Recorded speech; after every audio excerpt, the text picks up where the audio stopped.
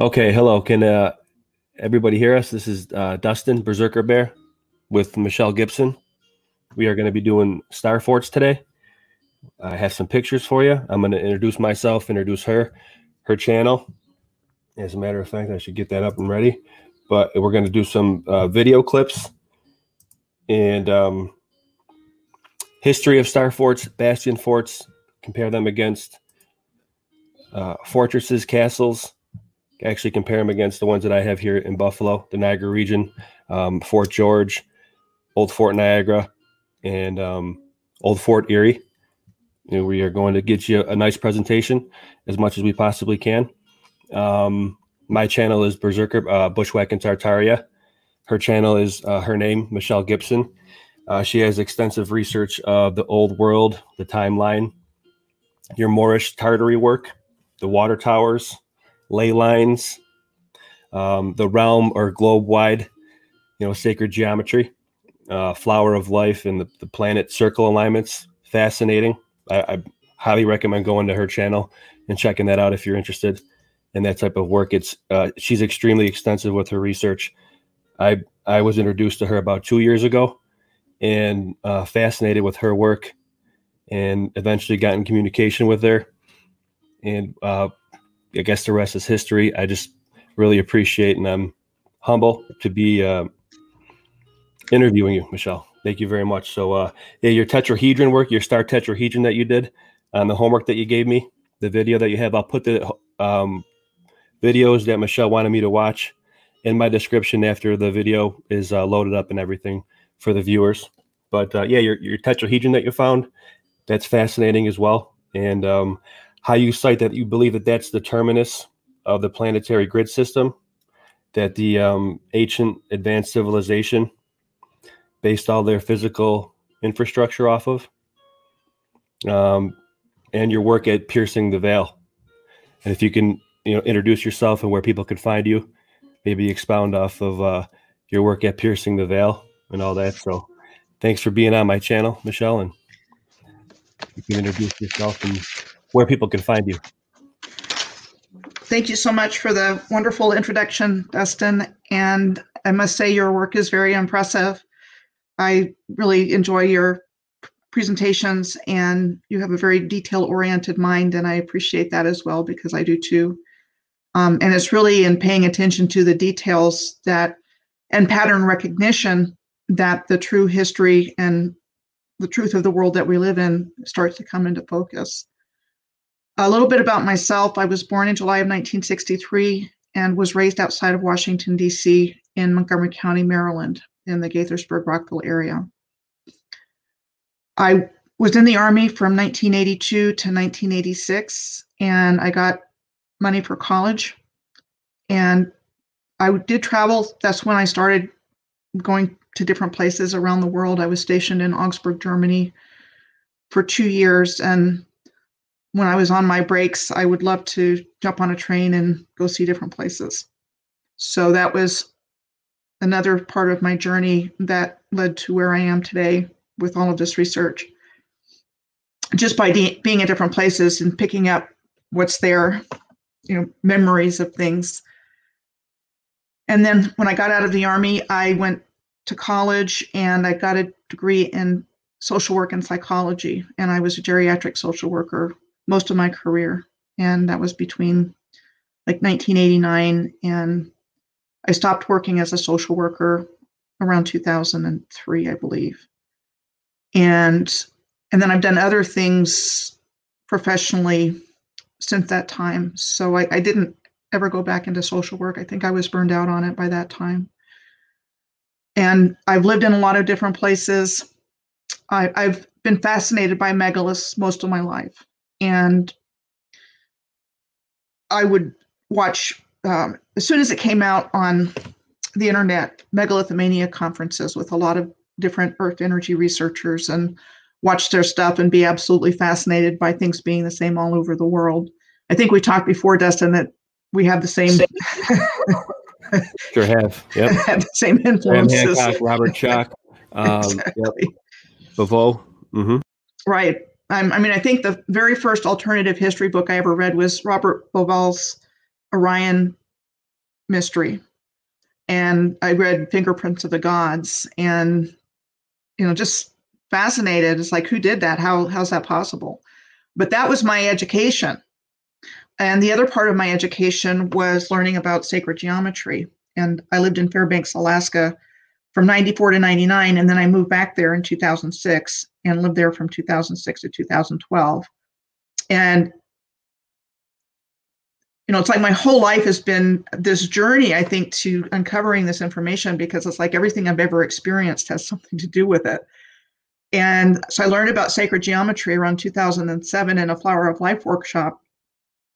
And uh, Drunvalo Melchizedek was a teacher that brought this information back, and I followed his work closely for about six years during that time. And he made a video in 2010 called Birth of a New Humanity. And he talked about an actual physical grid that was constructed. And I'm I'm thinking, okay, who could have done that? But that was the very first time that I had any concept of an earth grid and that it was actually a, it was actually physical. And when I moved to Oklahoma City to help with my mom when my brother moved her from Florida, I that was that period of time that I was there was when I really started to wake up to this ancient civilization and make my own discoveries and start doing my own research. And um, you have the graphic of the the map with the star tetrahedron on it. I, I have the actual map in front of me, but you're going to see it better if it's on the screen. So that's the flower of life, and all sacred geometric shapes are contained in that, and that's actually the creation pattern of the universe. Everything's based on the flower of life.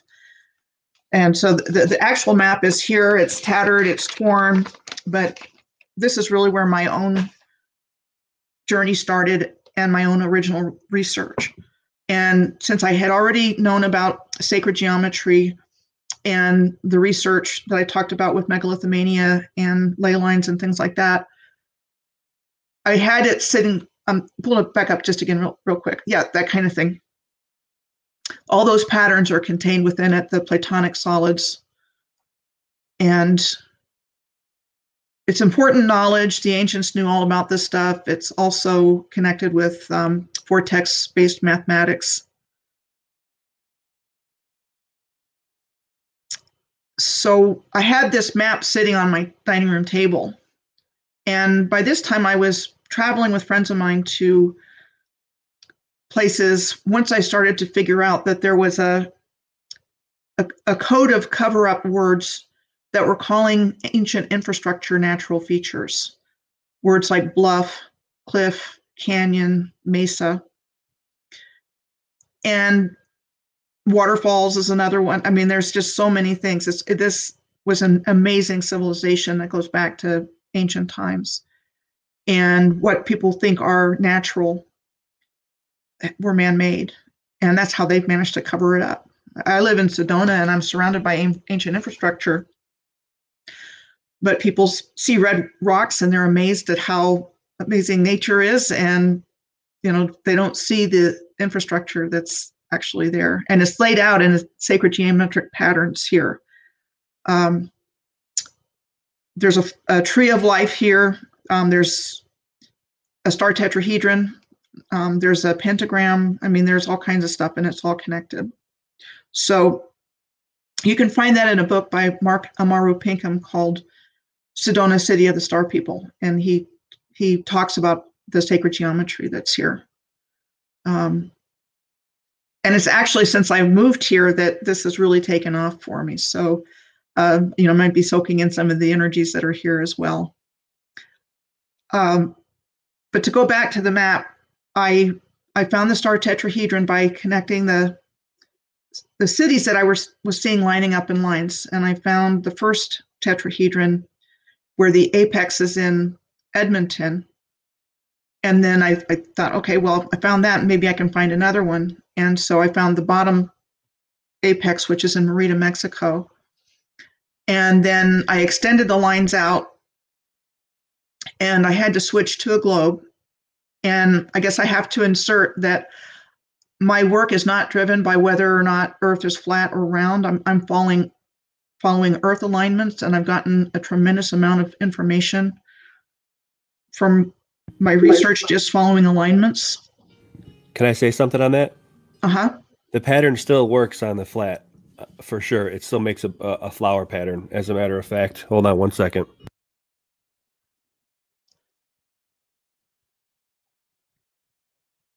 And that's what I'm, I find as well, that it works either way. Um, the important thing is the sacred geometry and the ley lines. And in my research, um, even though my passion is the ancient civilization and bringing it back to awareness, I have found evidence that our perception of space and time was tampered with. And I do talk about that in, in different places.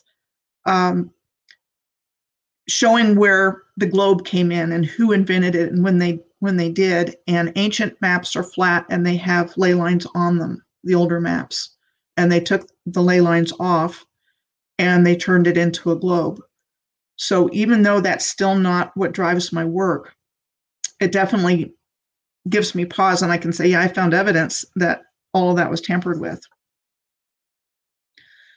so anyway, once I found the star tetrahedron and I extended the lines out and I, I had to switch to a globe because I couldn't visualize where the lines were going on the other side.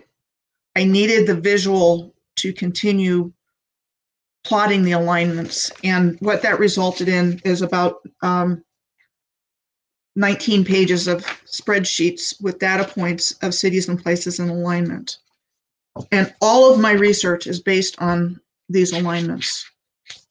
And had I not done the work of tracking the alignments in a number of my blog posts, which I turn into videos, had I not done that research, I would not have gotten the rest of the picture. It was following the alignments that showed me not only the, the true and original history of the earth, but how how it was taken down and how everything's been rewritten and revised to bring us to the world we live in today and where we are at this moment with all the twilight zone stuff happening. So my work on the alignments has led me to uncovering history and how all this was has taken place. And i did have a moorish american friend when i lived in oklahoma and he brought the piece about the moors into my life because i didn't know about the Moors before then, and learning about the Moors and Moorish science, which is based on sacred geometry, and how they've been removed from the historical record, collective awareness. Um, but they were the actual builders of civilization. And within the Moorish civilization, there were different empires, and Tartaria was one of them, Barbaria was one of them. Um, the Mughal Empire, the Ottoman Empire, the Persian Empire, um, empires within empire. And so it, it's Mu, uh, Moor actually refers to Mu, which is better known as Lemuria. But that goes back into ancient times, and their civilization was continuous, um, I think, up until relatively recently. And then negative beings figured out a way to create a cataclysm and um, destroy the original civilization. I think that's where the mud flood comes in. And then um, the controllers, um, the 1%, um, the corporation, the founders, founding families of the corporation, and the richest people in the world are the ones that are behind what took place. And I don't believe it was natural because I think had it been a, a natural event, we wouldn't be sitting here talking today. Everybody would have been, you know, wiped out. But they were obviously prepared and ready and did a lot of work to create a new history and create the control mechanisms that we've been living under, which I believe they re, uh, reverse engineered the grid system from a positive life enhancing force into a control mechanism. And so that's, you know, that's flip yeah and they just reversed it all and they've they've kept us under this system without telling us and feeding us a false history and you know educating us in it and then reinforcing it with movies and music and television programming um, so that we wouldn't would not see what's actually in the environment around us and know the true history. And I think the show that um, Berserker Bear has put together for us today will clearly show that. Well, thank you. I appreciate that, Michelle. And I agree with you 100% that they, I think that's also a dual purpose, uh, the utility of them um, showing that truth in media, uh, whether it's music, movies, even ga- even games. Um, I think it that's their. They believe it relieves them of their karmic um, duty because they are telling the truth in a certain way, right, and right. it's whether or not you get it right. Uh, there's a great scene in a movie that I haven't watched yet. It's called Under the Silver Lake, where the guy's playing the piano, and he's telling the uh, protagonist of the movie um, there is truth in, in, in media, and it's uh, something that if you don't, if the message, if you don't get it, then it's not meant for you. Um, and that's there's no right and wrong in that. You know, it's some people attribute right and wrong and to that. It just is. It's the it's the constant yin and yang of uh, the black and the white. It's always going to be there. You just got to find a way to navigate through it, as, as we all are right now. So thank you very much. So let's get right into it. Uh, we're just I'm just going to ask questions that are related. You know, I, I gave you the the outline, and we're just going to go down through it. And I'm sure there'll be enough generated um, talk back and forth uh, just from these questions. So um, if you're ready to go, I got everything. I got my coffee, and I appreciate everybody being here. Uh, Canada Dummy, and yeah, please hit the the like button if you will. I appreciate it. So um, let's do some yeah. And as we talk about it, Michelle, I'll go through and pull up the related or whatever you want to me to bring up. Okay, and also, I've, I've got tabs up on mine. We've got some echo right now. Okay, that's better. So I've got tabs up as well. So I'll be screen, uh, sharing my screen as we go through the questions. Okay, cool. Let me know because I'll stop sharing. And uh, do you have? Let me. Do you want to share a screen right now and see if we can? Uh... Yes. Okay, so I'll stop sharing. Okay. And now you share. Can you share it? Yep, I'm going to share it now. And then I'm just going through the questions that you gave sequentially. Um, because this one relates to the very first one. Cool. I'm going to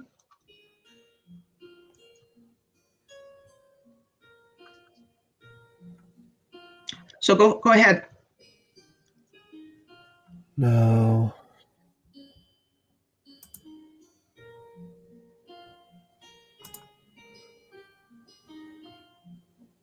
So this, so this is the question of the differences between fortresses, citadels, castles, and palaces.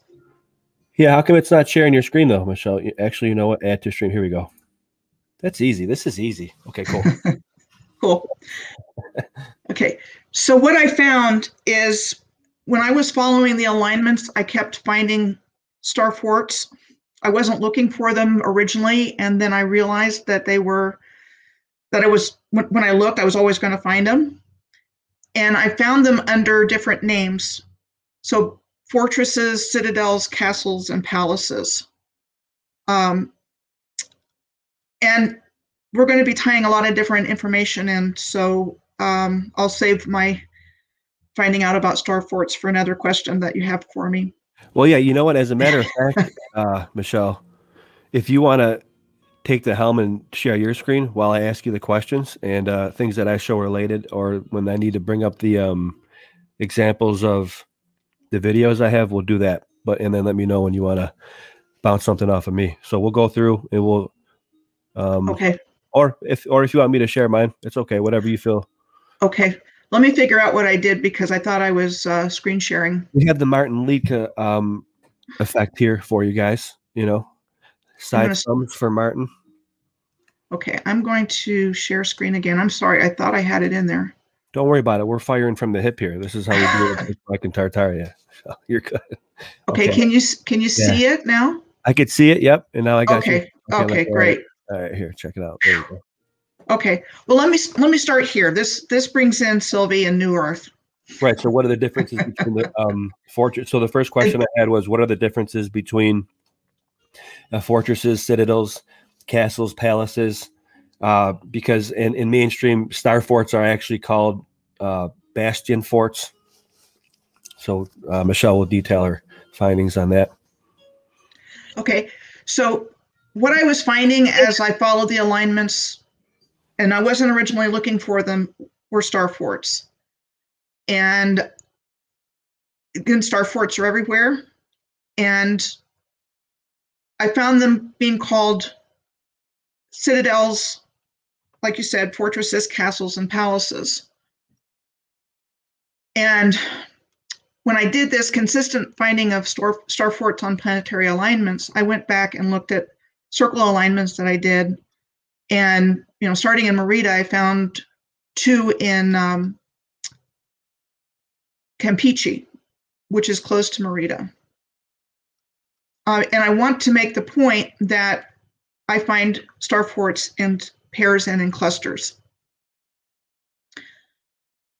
But I also found them called different names, and they were still star forts. And I'm just going to, and different shapes. And that's the point that I wanted to make um, when Dustin and I first started talking about this program. Um, and I saw his one on the pier near where he lives that he fished on the other day. Um, there are a lot more atypical star forts out there um, that aren't even called what we're talking about now. There are piers. I found the R.C. Harris treatment water treatment plant in Toronto, Toronto as being one of these so-called star forts. Um, and I can show you that example as we go through this. Um, that one kind of looks like a beak. That's in the Bahamas. This one's in the Florida Keys. It's on Dry Tortugas uh, National Park, and it's called Fort Jefferson. Um, so it's further west of Key West, so you can only get there by ferry or boat. And one of the really interesting things about this is that it's the largest brick masonry structure in the United States, made with over 16 million bricks, and it's the third largest fort, and said to have been built between 1845 and 1861. And I think this is one that um, Cameron has talked about on autodidactic as well. Uh, so yeah. there's these, these inconsistencies. Um, and the stories that were told about them are just really absolutely ridiculous. So we'll talk more about that as we go through our presentation today. Um, you know, how they're explaining their existence just makes no sense. This is in Bermuda.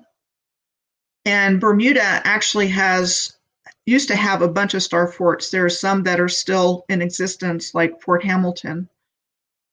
Um, you know, where that looks like they just added the cannon here to these these bastions, and then you find you know the circular ones, you find pointy ones, um, all different kinds. You know, just add a cannon here and there.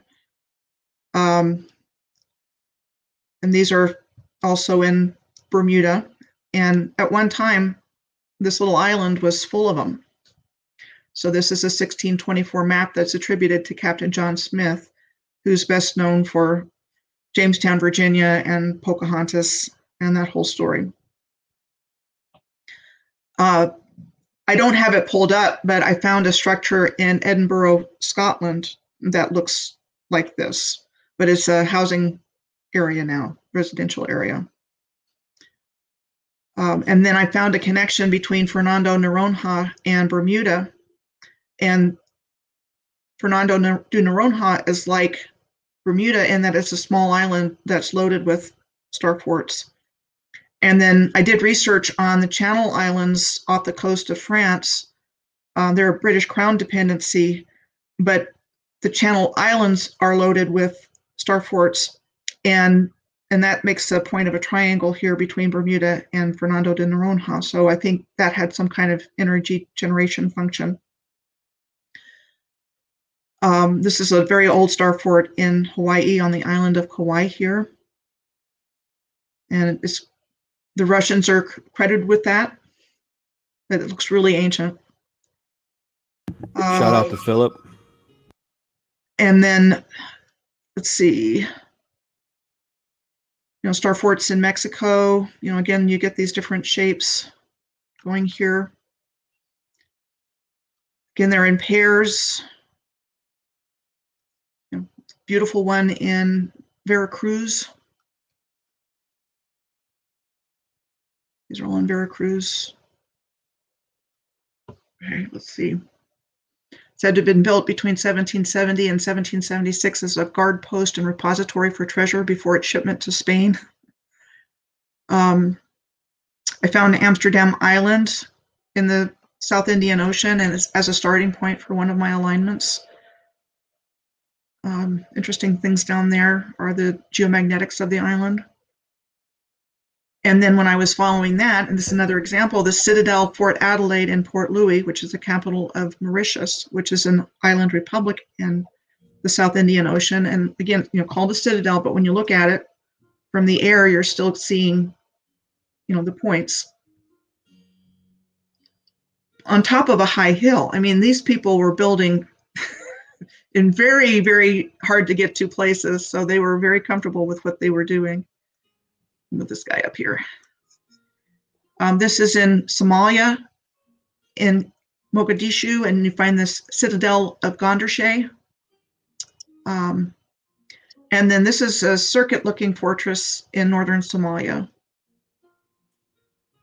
Circuit. Shout out to shout out to Jerry, the circuit board. And then this little meltdown. this little fortress called an architectural masterpiece built on a, the foot of a rock to protect the city from Bedouin attacks.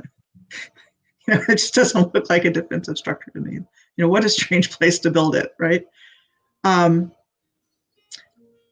another thing is in uh, the Yemen, known as the Mahram Bilqis, or the Sanctuary of the Queen of Sheba. And one of the interesting things that you find there is this old South Arabian ins- inscription, which looks like runes. And so I put the Norse runes there for comparison. Um, and I, I have Heavener as an example in, in something else that I wanted to show you, but uh, this is called the Heavener Runestone in Oklahoma.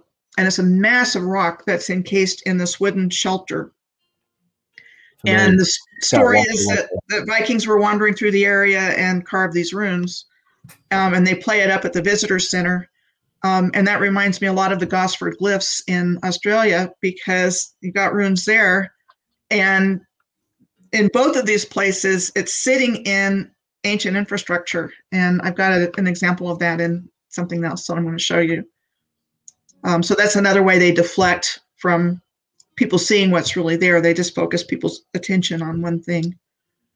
Um, and I think it's real. I think the symbols are real, and that was the original language that the ancients used and part of their mastery of how to har- harness natural energy to create amazing things. Okay, so I'm just I'm just going through the differences. This is the Al Fahidi Fort in Dubai. It's a museum now, but it has some circuitry looking features here. And this is a, a really long piece, but I'll just go through a few more examples.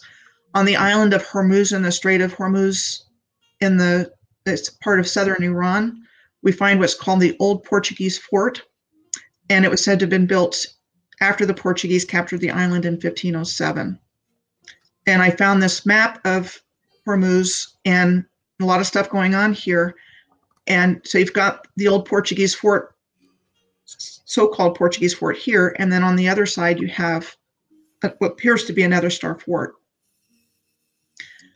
And then now you don't see that other star fort, but you do see, um, like up in this part here of the picture, you see something that looks like circuitry chips. Yep, and it's inter- interesting that they're on uh, each side of uh, a body of water. It's uh, what we have here in mm-hmm. Buffalo, and mm-hmm. up Lewiston, and Fort Erie or uh, Fort Niagara. Yep. Yep. You know, we can talk about it more as we go through this, but I, I definitely think they were serving as batteries, um, actual yeah, batteries. about that. Yep. You know mm-hmm. what I mm-hmm. want to do actually? I'm going to share my screen. Okay. And I'm going to show the uh, different uh, facets of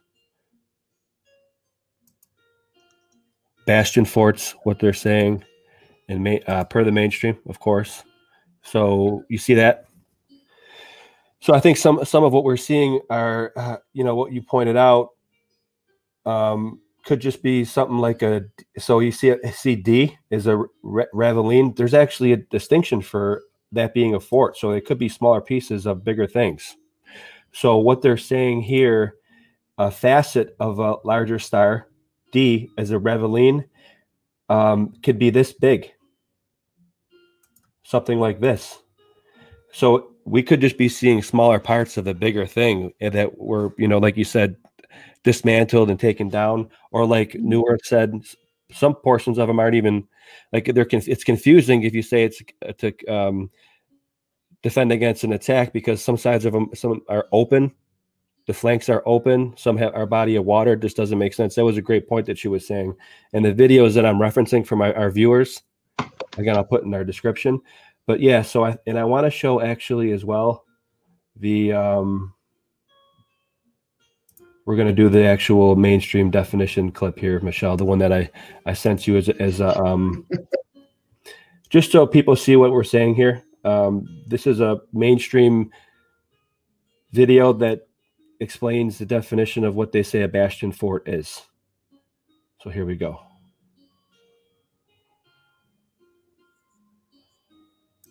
You might need to share your screen again and and put the sound, click the sound button. Oh, yep, you're right. Good call. So let's do this. I'm glad you uh, trained me on that. Okay. I just found out. How perfect! Within the last two weeks. uh, un- perfect. So clutch. Okay, so share audio. This one, share. Thank you, Michelle. You're the best. I learned so much from you. Medieval fortresses were usually built high or on hills to make it possible to rain down arrows on approaching enemies. But these straight and tall walls, curtain walls, proved vulnerable to cannon fire.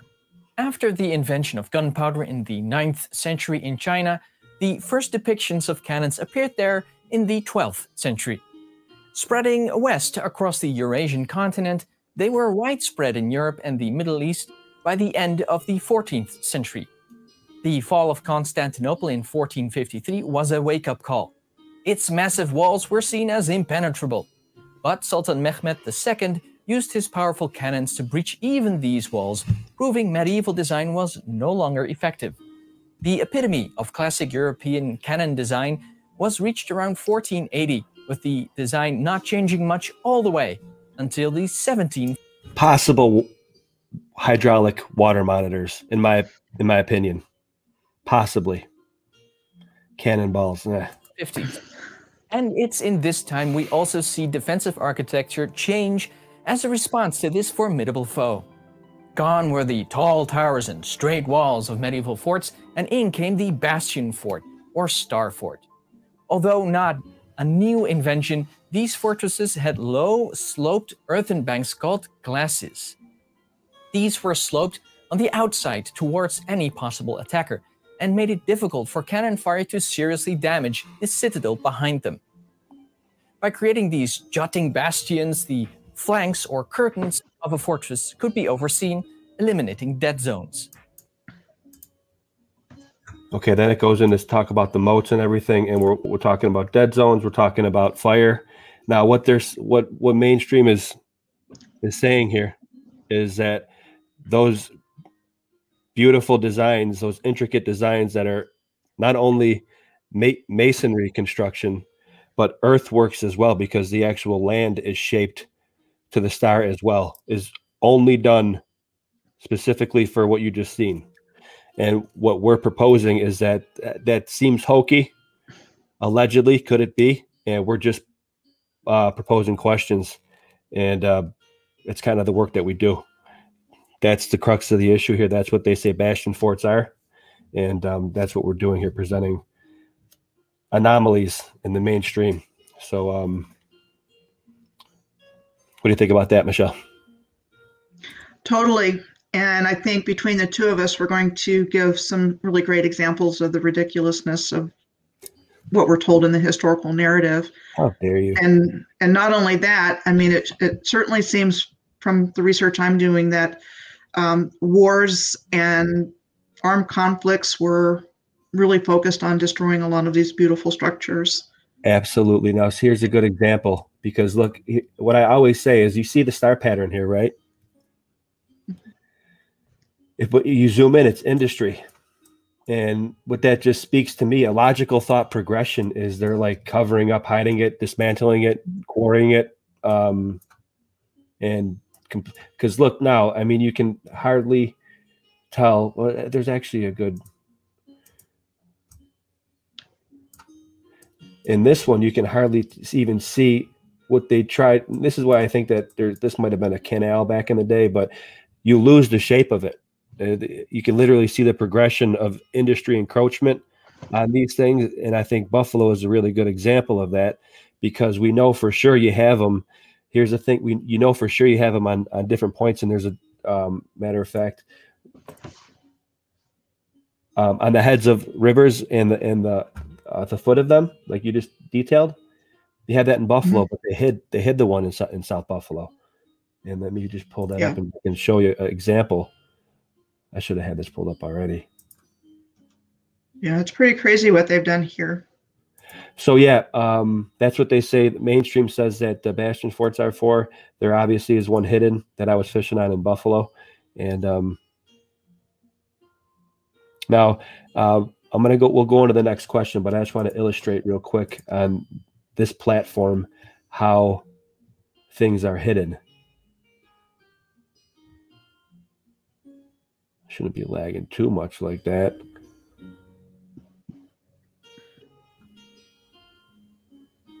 Okay, so here's Buffalo. I'm glad I was right here. Can you see that?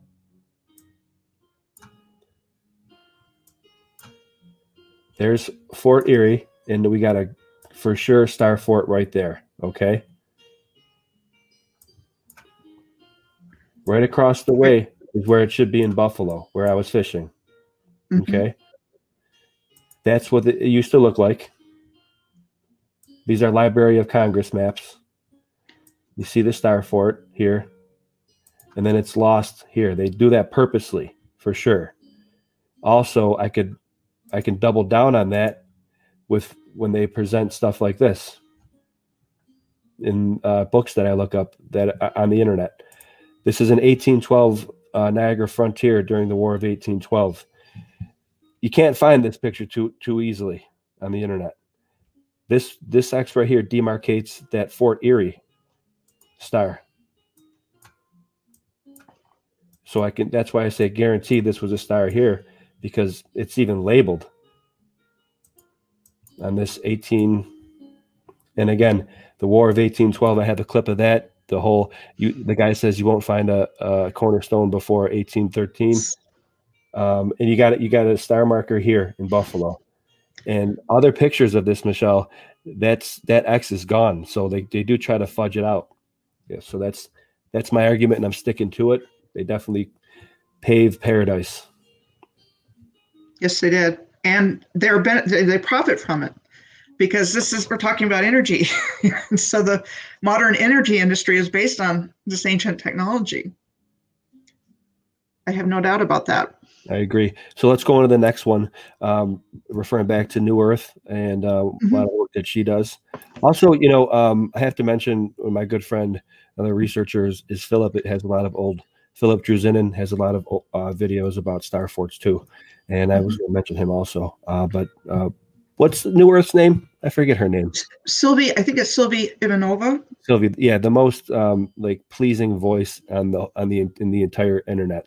Plus her um, her channel is fascinating. Okay, so let's get into the next one. Do you agree? I mean, she's been doing this work for a long time, and she was yeah. definitely part of my journey. So I'm really glad that you had that as a question, and I'm going to go ahead and share my screen. Yeah, Michelle, you know what? Let me end mine. Um, yeah, you said you watched that video of hers in 2015. Mm-hmm. Fascinating. Yeah, I did a one of the very first blogs that I did was about star forts, and I learned so much more than I did when I did that. Can you see my screen? I sure can. Let me add it. Now, I got married in 2015, Michelle. Yeah, it's. It, I mean, I was doing in 2015. You were woke. You were woke to this. To this. I was. I was waking up to this. it was before I found the star tetrahedron in North America uh, in 2015, but it was part of my journey to waking up to all of that. And I was starting to figure things out, and Sophie, I mean Sylvie, was one of the few channels at the time that was doing this kind of work. And so I watched a number of her videos then, and so that was in 2015 and 2016 was the year this started taking off for me and when i found the star tetrahedron. Um, and and star forts are really a gateway topic to this subject because a lot more people know about star, star forts and ask questions. Yeah they're so visually engaging and beautiful mm-hmm. right to the eye. Yeah it makes sense. Yeah i think this is the actual one that you showed that graphic of the fort Bourtange in the netherlands. Okay you know, beautiful one, lacy one. Um, this one's in Portugal. And Hakodate in Hokkaido, Japan.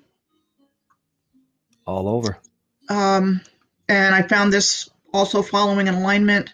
Um, when I was tracking it, I went right across this place in Hokkaido. Uh, Palmanova, the one that you showed already, um, which looks to me a lot like CERN. Definitely. I think at a certain level, these guys model it after that and try to make it look look like that. You know. Yeah, I mean, there's real technology behind all of this, um, and I linked her video in this particular blog post, um, and then this is a, a much shorter one done by somebody else.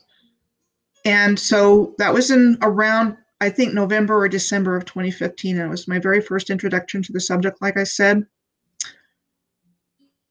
but what happened within like just a couple of months, somebody mentions um, Statue of Liberty being on a star fort, and that's Fort Wood. It's 11 points. Put their stamp on it. Mm-hmm. So within like a couple of months, I was at Heavener Runestone State Park that I just mentioned a little bit ago. And I saw this, you know, that same pattern here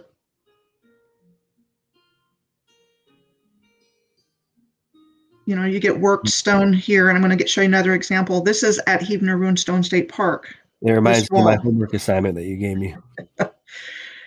and this is on the outskirts of the park. This isn't even where the runestone is. I mean, there's no attention drawn to the part of the park that's not where the runestone is. And and you see these beautiful walls. And I took more pictures when I was there that I didn't include in here. You know, there's an interesting point I want to make here that I talked with, I'm not sure, my buddy um, Campbell knows familiar, uh, Mr. Brees. He's a good researcher too. Uh, my homie, I talk with him a lot. And we throw ideas back and forth. He's probably sleeping right now. I think it's the other side. He's on. he's in uh, Queensland. Um, so Cam, thanks for staying with us, homie. But um, yeah, he was put the notion out there or told me like he when they designate a, an area as a state park, that means that it's like the cleaner's been through it. We're good. Mm-hmm. Good to, good for the public to go in and not deduce as much and you know, la di da walk through the trails and not be like, oh, that's possibly a castle, you know, an old citadel. You know, that's like a it's also a sign, a communication that you know, this house is clear type of deal. And it's, right? and along with that, it's also where you can find the ancient civilization preserved. And that was part of my journey in uncovering this when I started looking, looking at for it. Definitely, definitely. When I started looking at national, state, and local parks, because if they're not preserved, they tend to be destroyed by construction and, and things like that, um, new roads and new housing developments and things. Um, so anyway, like within months of learning about star forts, I saw that at um, Heavener Runestone State Park, those um, pointed shapes and then I was watching this video. It's a music video called "Climbing in Geometry." That was fascinating. That picture. And I and I noticed that. I don't know what the heck that is, but somebody pointed it out. I didn't notice it at first. Oh no, it looks like it just uh, added into it, but that's the real formation of an outcropping that looks similar yeah. to what a star fort would be. Yeah. Yeah, yeah. That that's so I I noticed that, and then I googled climbing in geometry, and this was really when I started to get it. It was a very intuitive synchronistic uh, um, process for me. And I grew up near Carderock in Maryland. I, I, didn't ever think anything of it, but I found this description in um, in this blog post called "Roped Up Climbing at Carderock," and he talked about um, the this climber was going up it, and he described thoughtful moves on polished slabs. And this is called Jungle Cliff there. And Carderock is also the home of the Naval Sea Systems Command. And I, I don't remember if you and I were talking about this just a little while ago, or I think I was talking about it with somebody last night. Um, they build military installations on top of power nodes. Um, Camp David, the president, presidential retreat in Western Maryland, is is also built on a powerful place. Most famous, I'm sure, you know, people know Area 50, Area 1 5. We'll say, we'll try to escape the bots. Mm-hmm. yeah, I, I, agree. And you, you, are near that, you're in the area that you are is um, known for being a hot spot as well, right, mm-hmm. Michelle? Yeah. Yeah, it is. And, you know, like I said, I, I think I probably benefited from living living here. I believe um. I think the same. Honest to goodness, I think the same thing with the water, with the with the the the flowing water of Niagara River, and I think that some of it is still going under underground. Uh, we could talk about that, like that on the outline, the Ghostbusters, the inversion of Ghostbusters too. Truth in media, we've already we, we've addressed that already, which is great. Yeah, so I just stopped sharing my screen. Okay, perfect. So uh, yeah, so do you agree? Uh, when um, Sylvie says that um, they appear to be uh, strategic, uh, built strategic, and points she points out extremely well that um, some of the sides aren't completely uh, sealed off and that they're open, and some of the arrows are what you would call the is um, the definition would be the ravelines. Ravelins are pointing inwards um, what do you think that speaks to? Because it, it, doesn't make sense as far as if an invading ar- army is coming, uh, mm-hmm. or like it just said in, in those um, cannons.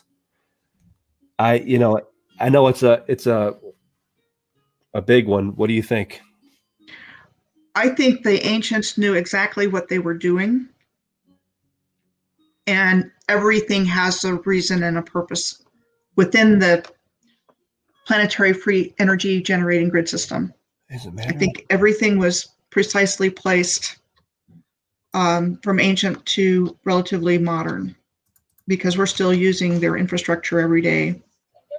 Schools, churches, cathedrals, uh, bridges, museums, you name it. We're still using their infrastructure. So I think let me show you something, Michelle. Uh, this comes from the uh, fellow uh, researcher here that I have on IG. I'm going to share my screen and see what you think about this. Okay, this is an experiment that he does. I call Mr. Wizard. It's Moon Jazz Bear, another fellow, you know, fan of um, Owen Benjamin, uh, comedian. But uh, you know, a lot of us like to research uh, a lot uh, this stuff and look at the this um, experiment that he did regarding radials and radial patterns. Mm-hmm. I came across that recently. Okay, cool. So you get a little, little synchronicity. Mm-hmm. Why is this not playing? The civilization that was here before bears no resemblance to what we're taught in our history. So this is interesting. Different. What he's doing, okay. Can you see that? He's taking a laser and pointing it through a prism that's on the ground. And see where where where the points are meeting?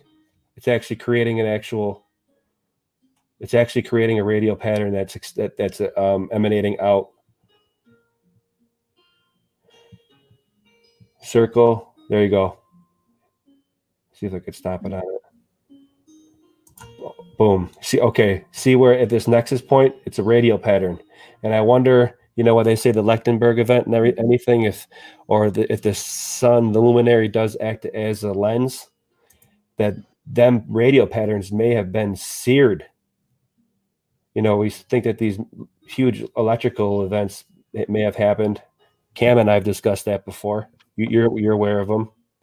Um, look at that's li- literally demonstrating that if you if you point a laser through a pri- what's acting as a prism or the lens, it could be the sun. Uh, that's possible, and um, that's just another possibility of what could have. You know, I, I think they may. I'm not saying it did happen. It's a possibility that that's one way that radial patterns were established because I think the whole um, narrative of the Ellicott brothers making the radio patterns in like you know two days is ridiculous. Did you have a place in mind to show that clip about the frequencies effect on the water? Let's do it Or right is this, now. good, is a good place? Very good place. So, how they're made great. Thank you for bringing this up. So, this is a video that you guys can look up, and it's called "Amazing Water Sound Experiment." And Michelle and I were, you know, hypothesizing how these things are made, and we're just going to show this to you. Now, this is uh, this was shared to me by another fellow researcher on our MeWe channel, Andrew Booth, who's in Mississauga, another mud flooded old old world um, city, and I'd like to get him on um, a video like this because he does kind of boots on the ground as well. Again, Andrew Booth, I'm not sure if he's here, but uh, he sent me this and he was just postulating could this be um, a way in which star forts were made? Well, let's take a look at it.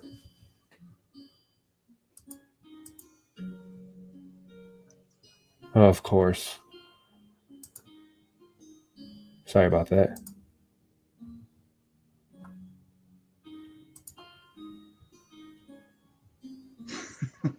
Yeah, of course, right? Dar- Darn YouTube and their ads. You guys can see my music playlist. I don't even monetize my YouTube channel, and I still get them. Yeah, I take it off. I, I, literally, I, I I keep a couple of them on. I play with them. You know, I don't, I don't need it. Okay, so what they're doing. Here you go.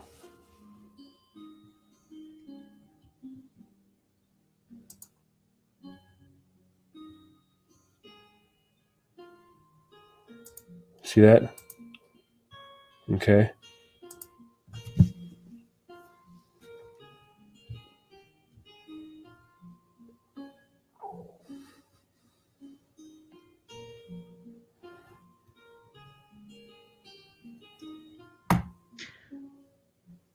Boom. Star, you know, or right angles. That's crazy. Mhm. It's falling water. And I know when you asked me about it, I, you know, I definitely think they were utilizing frequency in whatever way they they did this. I mean, cymatic patterns are really clear in this infrastructure. This is a good one. Look at that. Sound. You know, Walls of Jericho sound. The um the, the horn of Helm Hammerhand in Lord of the Rings.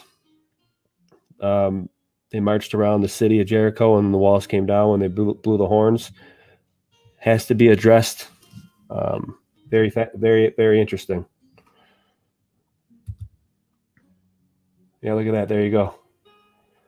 Just something to ponder, something to uh, keep on the table. Excellent share, Andrew Booth, my man. So there you go.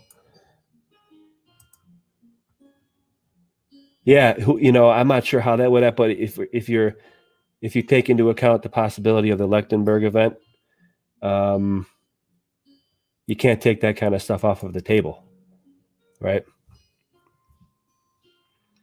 So let's move right along here. Um, regarding star forts and water and the power generators, perfect segue. Um, do you believe that they were ancient power generators? Keeping in mind that New Earth uh, says that water is a key component in extracting the gas. That's one thing that we think that these things are is gas. Mhm. That they were extracting gas in the, the videos that you um, cited Yep. from New Earth. Um, and what are your best theories as to the application of, you know, these alleged harnessed energies? You know, how what was the mechanism of delivery? You know, to what end, what terminal, what how was it used? I mean, literally, what do we use it for? You know, what was the utility of it? I know it's free energy. How was uh, how was it transferred? I do have answers to your questions, but my, that's that's a big I'm subject. just rattling off. but I could definitely put forth what I think was going on. And um, um, that question also talks about Malta, which is what I had pulled up to go into. But definitely, Go ahead. I'm gonna I'm gonna go into something else as well because of what you said. But I guess I'll start with Malta. But what you mentioned about the gas, and I have to say, I see gas wells all over these ancient sites, especially when I was doing my own field re- research. Um, I would see a megalithic wall in Oklahoma, and there would be a horsehead well sitting right there. And I, I think the same thing's true with the star forts. They're definitely harvesting that energy. So I'm going to go ahead and share my screen, Perfect. and, and I don't have to worry about audio because it's my blog post. Oh yeah, make sure you check that audio. uh, All right, there you go. So I just wanted to share a little bit about Malta because Malta is like a Disney World sea forts and stonemasonry. It's just absolutely mind blowing what's Yeah, there. New Earth has a great um, about that. It's amazing, It's like, oh my God, how did they do that? unbelievable. And so I didn't have any problems finding star forts when I was looking around Valletta, which is the capital city of of Malta, which is an island republic that's between Sicily and and um, the country of come on Tunis. Sicily, uh, Italy. So, okay, so it's, it's Wait. between the the the uh, the island that the boot of Italy is kicking, and the the country of Tunis in North Okay. Africa. Okay. And Tunis is the site of the historical Carthage. Oh, Tunisia. Yeah, Carthage. Yeah, Yeah. Tunis is the capital city of Tunisia. So it sits between those two countries, Very familiar. which and it's not far from Egypt, you know, and this right. So it's the northern part of Africa, right across from Right. the, the southern boot of Italy. Yep. you know, and all the same architecture and infrastructure, it's all throughout there. So it's all throughout everywhere. Um, so I'm finding these star forts all over the place. Um, and during the days of the British Empire, the they would just went right in there and sucked everything up and claimed it as their own. But um, the all kinds of star forts there. And I'm just gonna kind of go through a lot Oh, of stuff. ahead. You know. I'm gonna. I, I'll be right back. Can you just go through this and I'll Sure. your presentation? Give me Yep. 30 seconds. Okay, um, you know, so cathedral looking buildings there.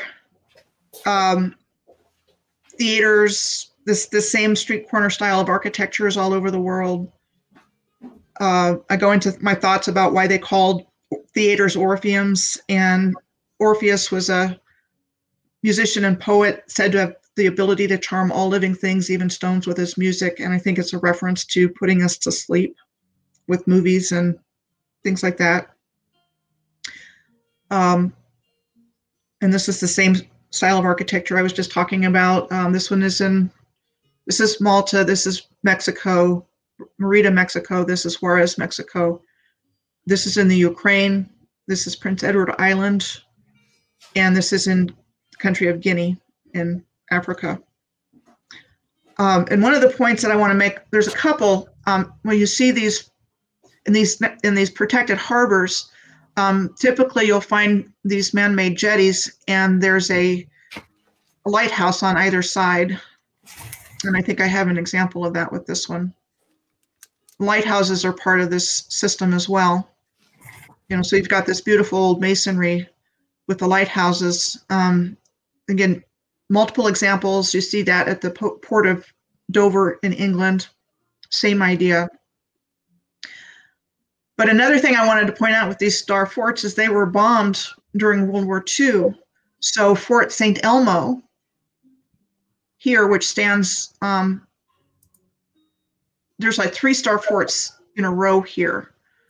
And on the first day that Malta became involved in World War II, they started bombing these places. Of course. and that story is over and over again. Um, I'm just I'm just going to scroll through here real quick because there's just a ton of information, and we'd be here all day if I went through everything. And I just want to try to highlight some things. I realize I meander through my my work here, but um, it brings up stuff a lot of times that's important to bring out and how the original civilization was actually put together and then what happened to change this the narrative which is what we're taught in school. Michelle you can go right ahead and uh, do your thing with that because uh, i like to underline that that you're extremely good with that. And that's one of um, the things that i look to you and look up to you for because you really do get into the literature and compare and contrast against the mainstream timeline and history as to what we see and try to put it all together. So I, I think that that's yeah. Obviously, you can hammer on that for sure because that's your fast your your work on that is amazing. And I went there. You know, when I first started doing this work, I, w- I was just following the alignments, and when I did that, all this other stuff came out and that's how I started getting into the history because of the, you know, again, I can't say it enough because of the absolutely ridiculous stories they tell us about how things got there because they're trying to hide the existence of this civilization. And if you even look at it at all, it falls apart. And as we go through this presentation, we're just going to give you more examples of that because it's asinine. Um. So you see the, the Cottonera Lines here in Valletta, and you see the bastions, you know, um, Star City. And we're told that it was built in the 17th and 18th centuries to form the outer defenses of these, I guess what's the three cities of Valletta. There's these little communities around the main part. Um, and then you get, you know, a mud flood looking effect here as well. You know, it's massive infrastructure on the inside, you said to have been built in the 1530s. I mean, how they have the technology according to the history that we're taught. And oh, by the way, this is the um, Inquisitor's Palace in Malta. Um, so the Inquisition comes in and then they just start torturing people. you know, how did we get to this place we are today at such a low level of consciousness collectively? You know th- these kinds of things have been happening to humanity um, with the controllers plans to take everybody you know everything over and you know bringing in torture and all that kind of stuff. But today the inquisition is called the congregation for the doctrine of the faith so you wouldn't know that the inquisition still exists today. You know they, they want to bring in this dogmatic thinking. And you know you have to believe a certain way in order to get saved or you know be a good catholic or or whatever the case may be. Um, so i'm just going to scroll down because like i said there's just you know a ton of star forts here in valletta. And this is the only place in malta i have really studied. I'm sure if i did a, a deep dive on malta on a malta i would be have my work cut out for me um, so it's interesting. I would, did an interview the other day, and I didn't think to mention this, but the whole subject of mer people came up, mer, mermaids and mermen, and were they real? And you've got these statues all over the place showing half men, half fish. Um, so I'm just going to throw that out there because it yeah, came Martin, up earlier Martin this week. The Phoenician, Phoenician um, coming from the water. That's what Martin Liedtke would say. Mm-hmm. Shout out to Martin, Flat Earth British. So they are in statues in different places. This is in um, in Sicily, in Catania, in Sicily, and there was the one that I showed you in Valletta, which is at the first one, because that's that's why I started going down the the uh, Triton rabbit trail in this. Um, so the main city gate of Valletta from 1871 is when it was supposed to have been built. Most of the city gates have been changed or destroyed in Valletta. This is what remains of the Opera House, which was bombed during World War II. Okay, so that's what's left. They've turned it into an open air theater. It was said that was said to have been built in 1866. You know, more mud flood looking appearance, and then it was bombed during World War II. Of course. And you know that story's repeated over and over again. Um, but this is kind of what I wanted to show you. I mean, this is rock cut. Like, yeah, the Malta, the Malta anomalies with the Starford is so. You know what comes to mind is, and I have it in the questions, but I might as well address it now. Is what? Well, it's in this one actually, in the Malta episode. Oh yeah, you're you're already ahead of me, because Brien Foerster. You know, we come from the megalithic intrigue, and Brian hmm. Foerster, his work is, um, you know, I guess second to none in that in that um, department. Yeah. Um, well, go ahead.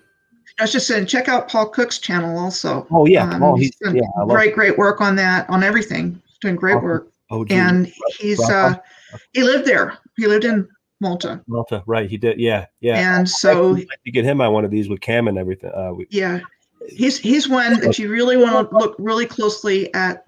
This this city, Valletta, um, I recommend his videos highly. I remember, yeah, he's, he's actually there about Malta where he goes on the street views is really cool. Yeah, and then so to extrapolate off of that and kind of combine disciplines here, if you will, with the megalithic and I guess the alternate alternate uh, history that we research. Um, Brien Foerster, I pull from him, for example, when you see something like Malta, because he'll say with the stuff that he sees in Peru that different styles of construction indicate different civilizations. You know, and I see that here in Buffalo. Um, granted, you know, the, the War of 1813 allegedly burned everything down. There's still merit to that, to, to hold that to what we see for at Malta, what you're going through. He specifically says different styles of construction indicate different cultures or civilizations. I, I want I want to go back to what I was just showing you from Google Earth, but that's why I went down that way a little bit. So to give you some perspective, this is that elevator. And I, I pulled this out because if you just look at the depth of the stonework here, I mean, how in the heck did they do that? And when did they do that? It's really ancient looking place and ancient stonework. And so this is another view of where the the Barrakka lift is. Look at that. And and it just give you an, an idea of the depth of this wow. place. And that's just one piece. And this was said to have been constructed in 1905, closed in 1973, dismantled in 1983, and that a new lift was inaugurated in 2012. You know, so what's that? You know, what's going on here? you know, why do that if it's working perfectly well? Know, and, and again, that's, you know, they, they say they, a lot of these ma- massive stonemasonry structures were in poor condition, so they had to tear it down and, and build a, a new building of infinitely inferior quality. That, and then that's, you know? where, that's where that's where they, they, they obfuscate the that's where the rubber meets the road where mm-hmm. they obfuscate the history and, and where the literature gets all jarbled because they can't, you know, the truth is baked into the crust here, you know, as far as I'm concerned, and they can't fully do it completely where you can't see through it. Right. We we pick those holes mm-hmm. out all day long with the research that, you know, we do. Uh, Campbell, Autodidactic, Paul, yourself, um, everybody who's in the community. You know, it's all. That's why I kind of like to have everyone together and on the same page we can certainly disagree, but this kind of stuff is there's merit to all getting different opinions and you know what we're doing now. And you know what actually who uh made a great point. There you go, can of dummy. Thank you. So uh, let's move right on to the next question. So, so no, you, you asked you asked me a you you asked me a multi-level question the last time, and I just I just uh, started in Malta, but you know, what do I think is going on here? I, I think it's very sophisticated circuitry.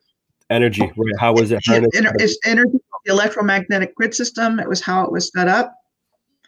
And, um, you know, there's so many directions I can go off on this, but um, I'm going to start here because this is where I kind of made a discovery from doing the research. And these are based on comments that I had received from people on places to look. And uh, this is where I started with this last series. um, because somebody suggested looking into Shepherd's Bush, which is in West London, um, which is part of the White City district, is part of it. Um, and Wormholt is there, and I've done an interview with him about Wormholt because that's a fascinating place as well. But there were um, these exhibitions, uh, this the White City, uh, 1908 Franco-British exhibition, and you know, again, it's another example of the original infrastructure being used for World's Fairs, uh, and they they had like six of them in a short period of time, one right after the other. And we're also told that this stadium was built for the uh, Olympic Games in 1908, which was held at the same time. Uh, so the stadium came up. Uh, you know, World Fairs no longer there. I wanted to show you the flip flap that was at the exhibition. Look at that. And the Moorish architecture that's here. But to me, that that was probably had some kind of generative function on the right. grid. So the the ancient the ancient civilization that actually built these parks were using it somehow to um, enhance energy, and I'm sure have people have a good time at the same time. Yeah, there's something going on here because trolley parks are connected with this, and these amusement parks were always at the end of trolley lines. They were one terminus of these trolley lines, and a lot of times star forts were a terminus. Michelle, let me say something here because this is uh, kind of parallel to what we're doing with when I was speaking with Philip about the mining, because that looks that looks like one of those conveyor things that you can easily just send the stuff up and pour stuff over and cover stuff up with mining ex, extra, and which is one uh, thing that I think might be what we're seeing is like them actually literally covering stuff over that would be spoil tips or whatever, or the the mining uh, uh, tailings, right? Uh, because mm-hmm. we're speaking about gas mining. M- mining was known in ancient history. You know, we're said that the Chinese were the first to do it and run gas per the mainstream. They knew about it, and especially with um, Philip has videos of it too. New Earth, they were possibly pulling gas from these things. Um, and if there is if if the narrative is to try to cover the you know the robber barons the industrial revolution may have been just them covering all this stuff up and as someone who would be it doesn't make dollars it doesn't make sense as a robber baron would think um kind of in the light of how philip was saying mining kind of makes you know practical sense too you know move it over and you can just wash it all down and literally use the excess to cover stuff up I propose, and I think that some of it might be them covering up, and those trusses that you just showed could be dual purpose and used for that also, just to cover things up because mm-hmm. it's actually used in mining now. Those things, it's interesting. Yeah, and I, I think there was a just a completely integrated system. Whatever was going on with these these parks, um, because they're they're surfacing all over the place. Um, they've all been destroyed. You know, these original locations of exhibitions and so forth. Maybe a few buildings standing here and there, but for the most part, they've been destroyed. And the trolley parks, um, the trolleys are gone. Uh, so I think all the rail lines, um, railroads and subways and electric streetcars, I think that was all part of this system, this free energy system. Yeah, and they might and it was all over the earth. So um, let me just go on down here real quick because uh, this part's about those world fairs. Um, I'm doing the research for it. I'm making connections back to previous research. Uh, let's see. And I do think the purpose of these exhibitions and expositions is to tell us the story that they want us to, to know. Um, Agree. One is a device. One there are two definitions of the word exposition. One is a device used to give background information to the audience about the setting and characters of the story, and the other definition is that it's used in television programs, movies, literature, plays, and music. So, what better way to tell your audience the story you want them to believe than the you know definition of an ex- exhibition or trade show. You know, so they're they're setting the stage for us. This is what they want us to know about history. Uh, so here was the track for the White City Stadium that we're told. Uh, we talked about the Olympic Games that were held there. And then it became host to the English Greyhound Derby between 1927. It was closed in 1984, and it became BBC White City today because the stadium itself was demolished in 1985. I like how they always put like activities and games over these things, Mhm. you know, uh, baseball stuff or you know parks, golf courses. It seems like it's a mock. You're playing over the old world. It's part of that, but I think there's a, an energy function going on here. You know, I think they're harvesting Definitely. energy It's dual purpose and duality. performance enhancing, but they're also making a heck of a lot of money with the people that are there betting on dogs and horses and cars. Um, and there's gambling in a lot of these places, so they're just making a ton of money Babylon. with with this. Um, so Shepherd's Bush train, tram terminus tra- trains are gone. These electric streetcars replaced by buses in 36, um, and this story is repeated all over the world. It went from this, you know, low cost, low polluting form of transportation that was all over the world, and replaced them with buses.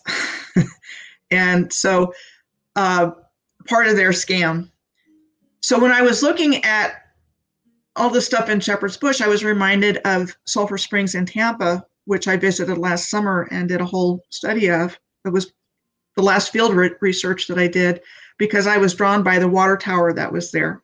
And then I looked around the whole area. And I noticed that Heathrow Airport is in this kind of relationship to Shepherd's Bush, to where the White City would have been. And this is Sulphur Springs in Florida, and there's a racetrack there as well, which I knew because I visited there. So I remembered the racetrack. Okay, so I saw this angular relationship here. It's pretty close. Um, you get the oxbows, which is another feature. Uh, all rivers are like this. I mean, the Thames is like that in London. There's something going on with energy as well with these. Uh, so anyway, there's water towers in both places. Um, but I was really drawn there by the racing track. And. Sulphur Springs used to have a um, a little park there. And Busch Gardens is in this same area. And this is where the race course is today, the Greyhound track. It's, it's been closed for a while. Um, Sulphur Springs was the northernmost terminus of the streetcar lines here. So you see that pattern developing. And again, that's something I'm finding over and over again. The you know trolley tracks are removed. The evidence is gone. Of course. That one- They still have a little bit had- of a functioning one. Michelle, that one video that you had where there's the tram lines in the middle of the, the jungle, and there's no other, that's like proof positive for sure that the narrative is shot. Like you it- know, definitely. no I mean, this. That's like, yeah. So when you say the, the grid, that's a logical thought progression that there, we're we're on a grid, we're on a some kind of lattice grid, and you can harness it somehow. The mechanism is unknown. I don't know. Obviously, they remove components, but I forget what video it is of yours. But it's like in the middle of It's in the middle uh, of the jungle. It's Manaus in Brazil. in It's like the heart of and the Amazon rainforest. and there's that's- of, of electric tram lines there, and there's There's no other there's no other like roads around, it, and it's like, oh yeah, that was that was an eye opener for sure. Yeah, I mean, it's like that's another one of those ridiculous stories. Unbelievable. Um, like we're the conspiracy theorists for like pointing it out, like the unbelievably ridiculousness of it. like it was supposed to have been built in the 19th century by the European colonizers, and there's no roads there. there's a road now. It's like 400 miles long, and it's like the the worst road in Brazil. But they had tram lines, the Um, electric trolley tram lines. Fascinating. so this is in uh, Sulphur Springs. So the the old Greyhound racing track is here, so we're talking about another ellipse. And then the um, there's an, a, a track right here, and Busch Gardens is right here. Okay. And I, you know, made a connection between Park. Busch Gardens and Shepherd's Bush. I mean, what's going on with the bush? But you know, so I'm starting to notice these geometric relationships with all of these ellipses. Your star tetrahedron, the flower of life. Yeah, Uh, yeah. You know, this is Las Vegas. Imagine the electricity that's going on there. I mean, you know, there's something going on, and again, they're taking full advantage of it. Um, so I wanted to start there because that is leading me to find that same relationship between international airports and other airports even and racetracks. And then in doing the research for that i'm also finding historical trolley parks and and springs like hot springs and mineral springs. And they all seem to be connected together. Um, so i found this relationship to a, a racetrack. That's a thoroughbred race horse racing venue uh, toronto pearson international airport Toronto. We have here in we have- toronto we have a, one of these old um, stadiums here, Michelle. Old War Memorial Mm-hmm. Stadium. Uh, it's called the old Rock Pile where the Bills used to play, actually, and it was actually an old reservoir. I have a video on that. Yeah, and I mean, I it's there to find, and I I stumbled across this. I I didn't have this. I didn't come up with this on my own. I I guess I did in the sense that I recognized the similarity between the uh, the racetrack in London and the airport, and the one in Sul- Sulphur Springs in Tampa and the airport. That was when I first noticed it, and then people would leave me other suggestions. So these are all based on suggestions that people made for me to look at. I love that you do that too. That's another part of, it's another part of Michelle's show is it's very interactive, similar to MeWe, but people that write, com- I wish I could do. You know, I. It's cool for you because y- you you go in and you dig out the um, recommendations from your people, your contributors, and your commenters. It's so cool. It's been very productive because, again, these are places I would never think to look. I, I pretty much was sticking to the data points on my alignments that I found for my original research. And then when I started doing these series with comments that people have left me, I've, I've gone places I didn't even know about, wouldn't have looked at in a million years, and, and finding a ton of really great examples and information. And that's what's happened with this series. Um, because of the recommendation of looking at Toronto, um, there's a track over here and it passes through where the Canadian Tower is. Um, there was a roundhouse park that's next to the CN Tower. Um, these roundhouses are amazing. Uh, so, the, so the railroad is there. You get the sports stadiums in Toronto, the professional sports stadiums. You have Fort York on one side of it. You know, so you've got what's clearly a star fort. And then again, I'm going to just kind of scroll through, through some of these things.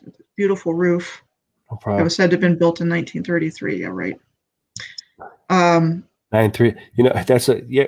Come up with a lot of those numerology numbers in this research, also. Yeah. And that's not an area of expertise for me, but it's fascinating for those that are able to apply. Yeah, me neither. But those numbers do come out. Do you? I mean, do you notice it too? Those those 3 Mhm.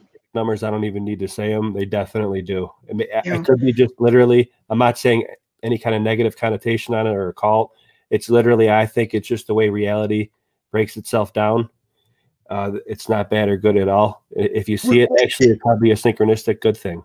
And they were just, Yeah, for the most part, but the controllers have used it against us. exactly right. and so it's it is exactly what you said by nature i mean i think creation is numbers um, so very important but they've been manipulating it and so this is an example of the jetties here by the rc harris treatment plant that i'm going to show here in just a moment and they look a lot like what you see down in north florida at Fort Clinch Yeah, and you know what? Too, Yeah. I'll tie in. I'll tie in the next question too, Michelle, because you know a lot of these old pictures that we see of these star forts have cathedrals in them, and you know we think of the healing with the cathedrals and the cymatics that you've done actually in the videos that I watched.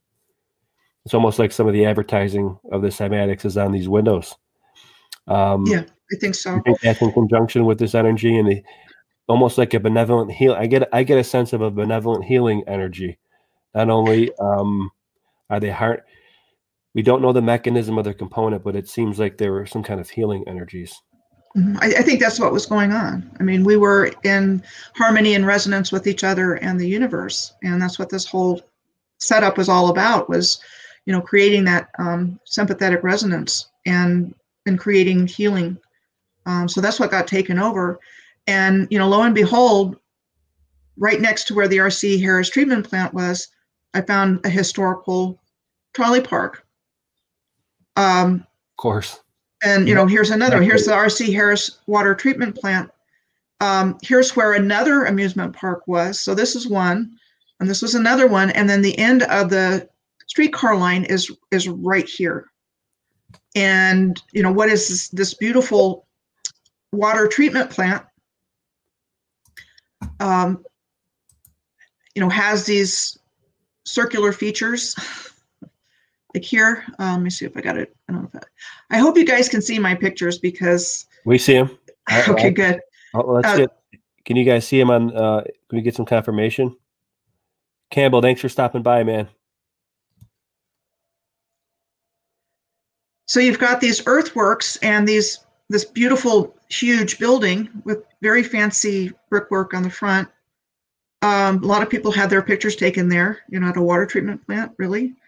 Um, and this is inside Okay, thank you. We're what good. you see what you see inside the water treatment plant and it, it apparently it used to be open like one or two days a year where people could go in so i guess that's when these pictures were taken um, you know amazing on the outside amazing on the inside you know there's another ellipse here you have this old megalithic stone wall right here uh, somebody took these pictures for me and sent them she lives here and she walked her dog through here and took pictures for me That's the best. The boots So- on the ground. You can't yeah. so shout out to Lisa H in Toronto for the pictures. Um, and then the the Neville Street Loop for the Queen Street streetcar line is the eastern terminus of Toronto's longest streetcar route, just off the northwest corner of the RC Harris complex. You know, so there again, you have another terminus. So I, I think that the water treatment plant was a star fort. Here, you know? Let me Um, my- can I show you something? Uh, Here. let me just make a point here real quick and then go for it. So um so what they do is they just stick a plaque on it with the date and all the people that were involved in building it. And so this was supposed to have been built starting in 1932 and became operational on November 1st of 1941, which would by the way, been during World War II and just a little over a month before the bombing of Pearl Harbor. You know, so again, the the stories are not computing. I, I just shared my screen. I stopped screen sharing. It's funny. So they put a plaque on it, right? What's the when you go to the dentist? What are they? Words have meaning. um, I'll cite Crow Triple Seven here. Words have meaning. What do you? What do they take off your teeth? Or they used to you, uh, plaque off your teeth, right? Also, tartar buildup, right? They they, they tell you their intentions. Good point.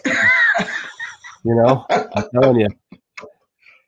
They, Okay, they put they put give you a fluoride treatment. I mean, my mom's trying to be a good mom, so I had fluoride treatments twice a year when I was Yeah. growing up. Which, You know? what they're doing in these water treatment plants that used to take in. So this is, I think, that water treatment plant you want to talk about. Now, water treatment here in Buffalo. Now here we are in Buffalo at the Porter Station. Okay, near that near that Star Fort. Now remember we've addressed that the Star Fort is the Erie Basin Marina. Now look what they have for you. Want to say those pumping stations, and you have these circular things here. Obviously, you have the baseball diamonds. Now, what I think, I found this picture, Michelle, and there used to be. Excuse me, sorry about that. My word.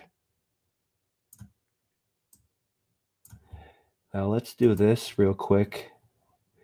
So there's the Erie Basin Marina on this old 1902 map, and you have the Erie Canal. This is the Erie Canal, and you see how they have a track here, similar to Cleveland has one like this too, right on the water. Mhm. Mhm. Okay, and they're they're making it a smokestack, right?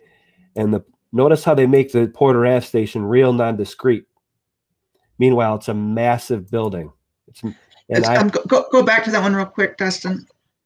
Okay, so uh, go up a little bit, and there's your there's your ellipse right there. there's your ellipse, right? Okay, and we have in real time, they're uh, they're hiding these uh, circular things, whatever, in that map. I, Uh, I think those baseball. I think those baseball fields. I think football fields. I think. Um, I think they're all part of the circuitry.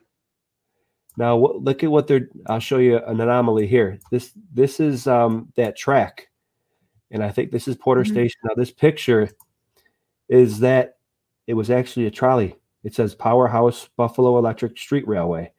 That's that building, Powerway, and in, in fact, it was actually. It's not, in my opinion. We're looking at at the front of this picture right here, and it, it's not a smokestack one.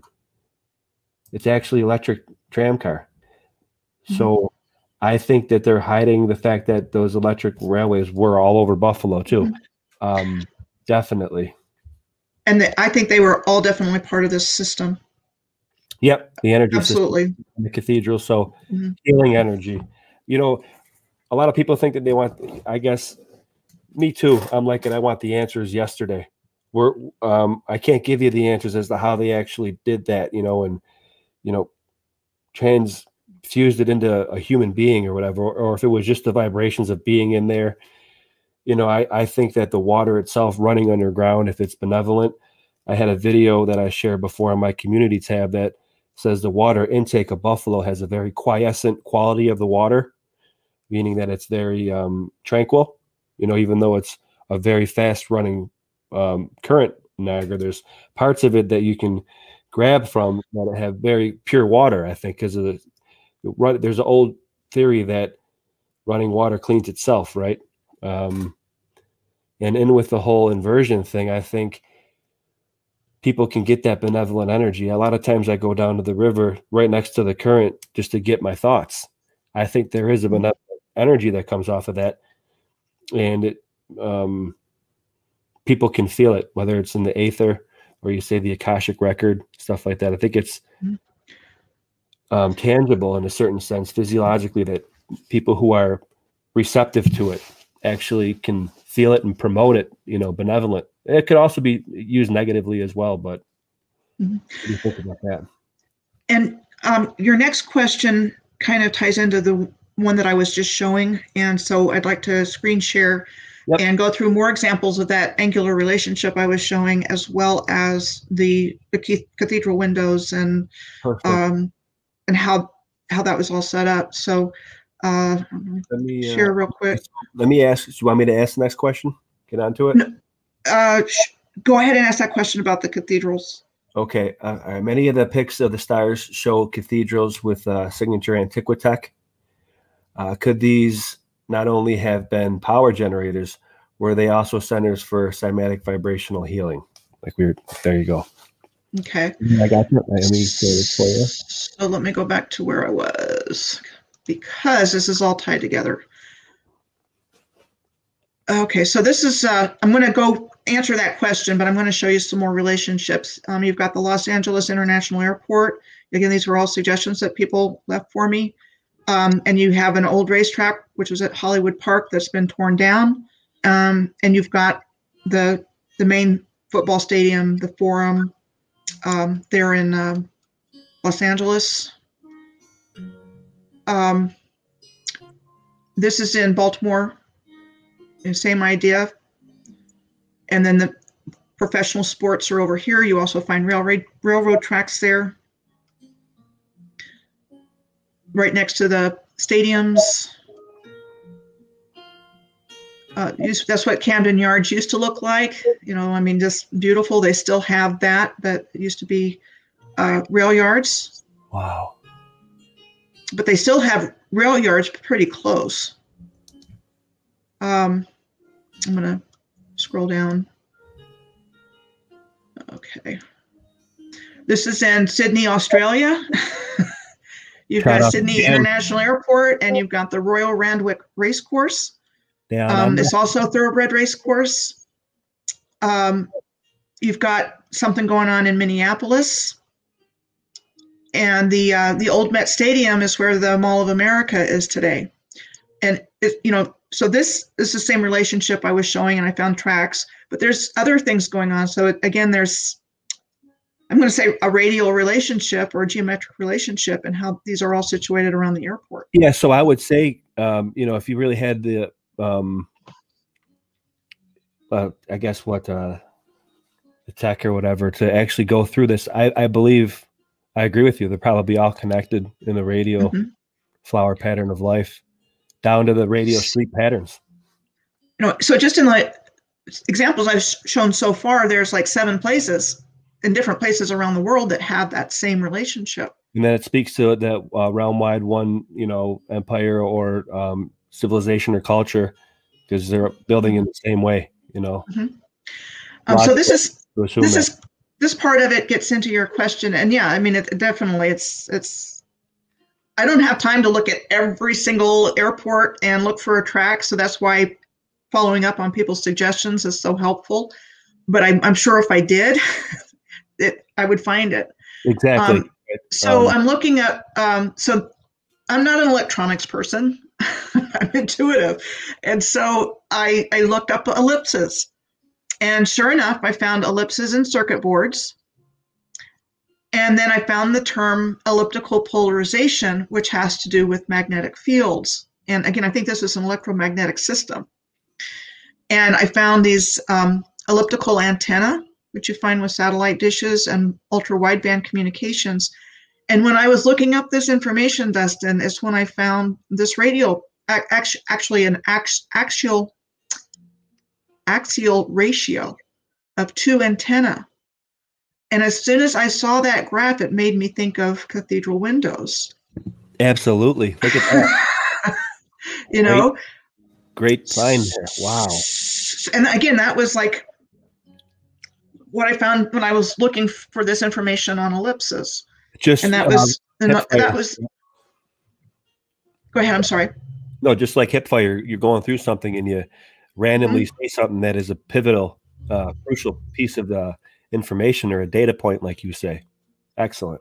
And so this was the article where I found this diagram of elliptical polarization is where I found this diagram, Which- brought that to mind.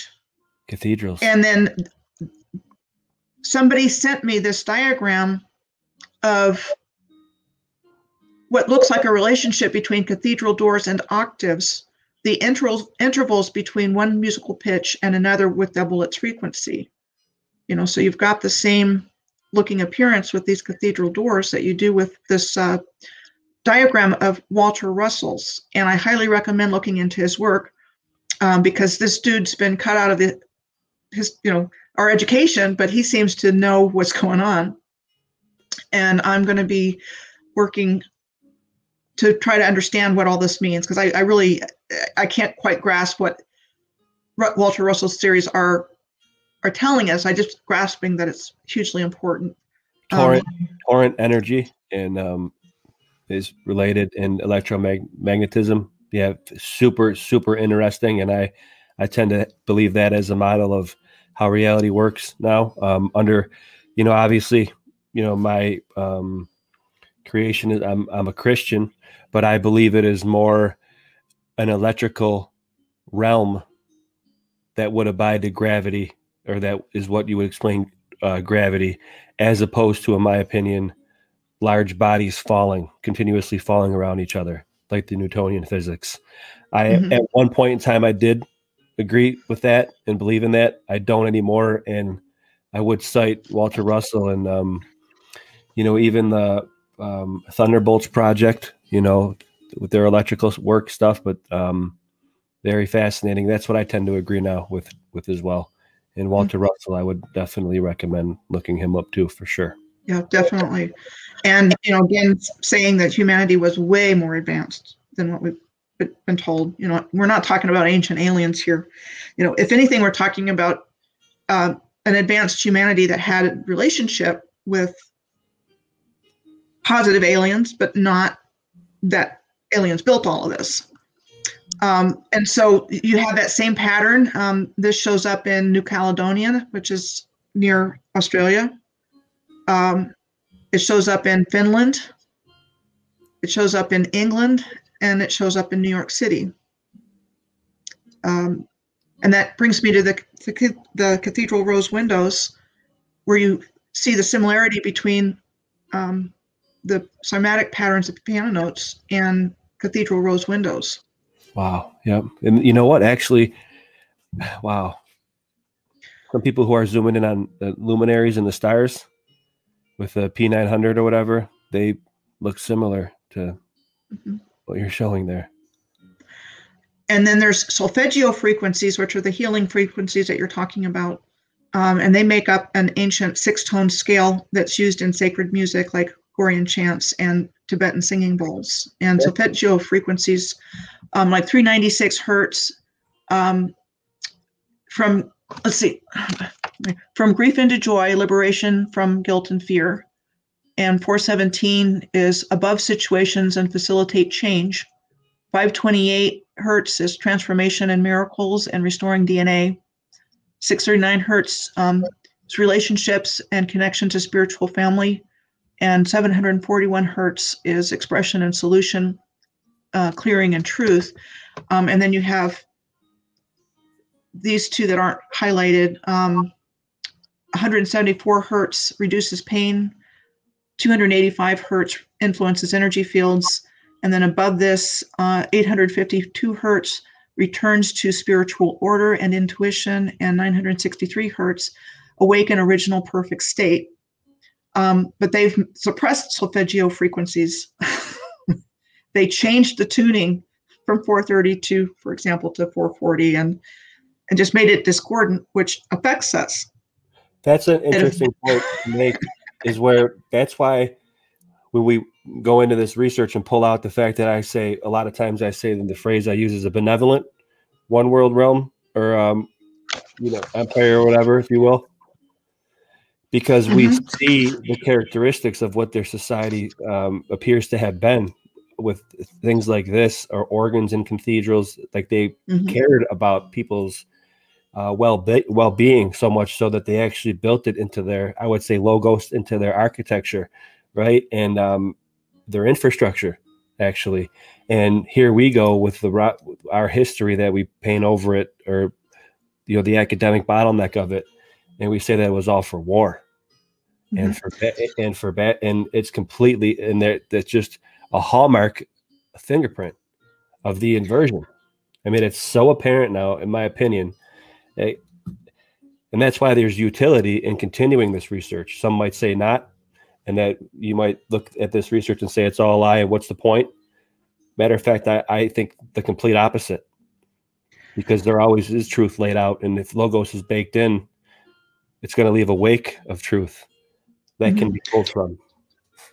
And again, and this this this is all stuff that I found when I was researching other comments. So somebody suggested I look into uh, he actually suggested I look into Salem Willows Park, which used to be a trolley park. um, but that brought me to this Salem Witch Museum. And that's not a castle, that's not a church, that's the Salem Witch Museum. Oh boy. You know, and so you've got these beautiful cathedral windows and you've got these terrible exhibits. And at the Witch Dungeon Museum, you know, you have that, you know, the same style of cathedral window and you've got an organ, and I think organs were part of this. And then you've got these exhibits at the witch dungeon of people in prison and hanging. You know, so Whoa. it's like the the lower vibrational imagery that they are imprinting on us instead of providing the uplifting and healing experiences. They want this to be what we think about ourselves and about our history. Well, that's what I did in my in the, in the first Erie Basin Marina. Is like I that it, it, they seem to be always commemorating. I understand to uh, address you know accidents, but there. I mean, it just seems to be the theme of our entire, um, at least administrative, uh, it, to. Mm-hmm. And so, um, so there's the Duke University Chapel you know, see how beautiful it is on the inside. And it was said to have been built in, um, let me see, it first opened. They didn't say built, it said first opened in 1932. Oh, yeah, there you go. That's another okay. of history. Yeah. Yeah, and then there's these, you know, four beautiful organs in the in the uh, chapel, and a 50 bell carillon.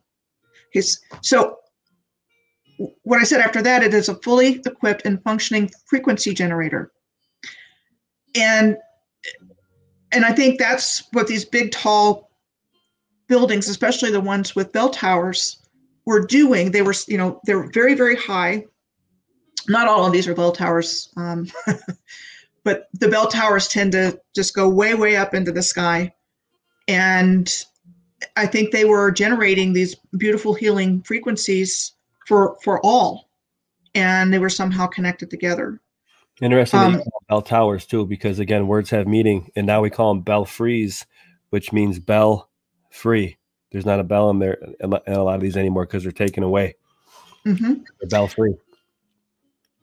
And so here you have an example of a church in Ohio where you have the organ directly underneath the cathedral rose window. Okay. And again, I believe that represents a healing frequency. And so, what's the meaning of organ? It means instrument or tool, a collection of tissues that structurally form for a specialized function unit to perform a particular function. And so, I think that's probably what that is doing.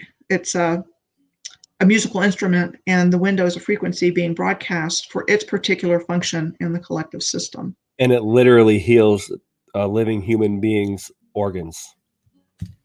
Words have right, meaning. right. Um. Oh yeah. So, so what, I, what I wanted to say, I'm sorry. It seems that we memorialize accidents instead of promoting uh, beautiful things. You know, like we there was one thing the the Stonehenge in the uh, marina is commemorating the the Irish potato famine. You know, and then a stone throw, and then a stone's throw away they had the Sullivan ships, which commemorates uh, the horrible accident where three brothers were were lost at, on the same ship. You know, it's like it seems to be a theme of memorializing accidents. Um, mm-hmm.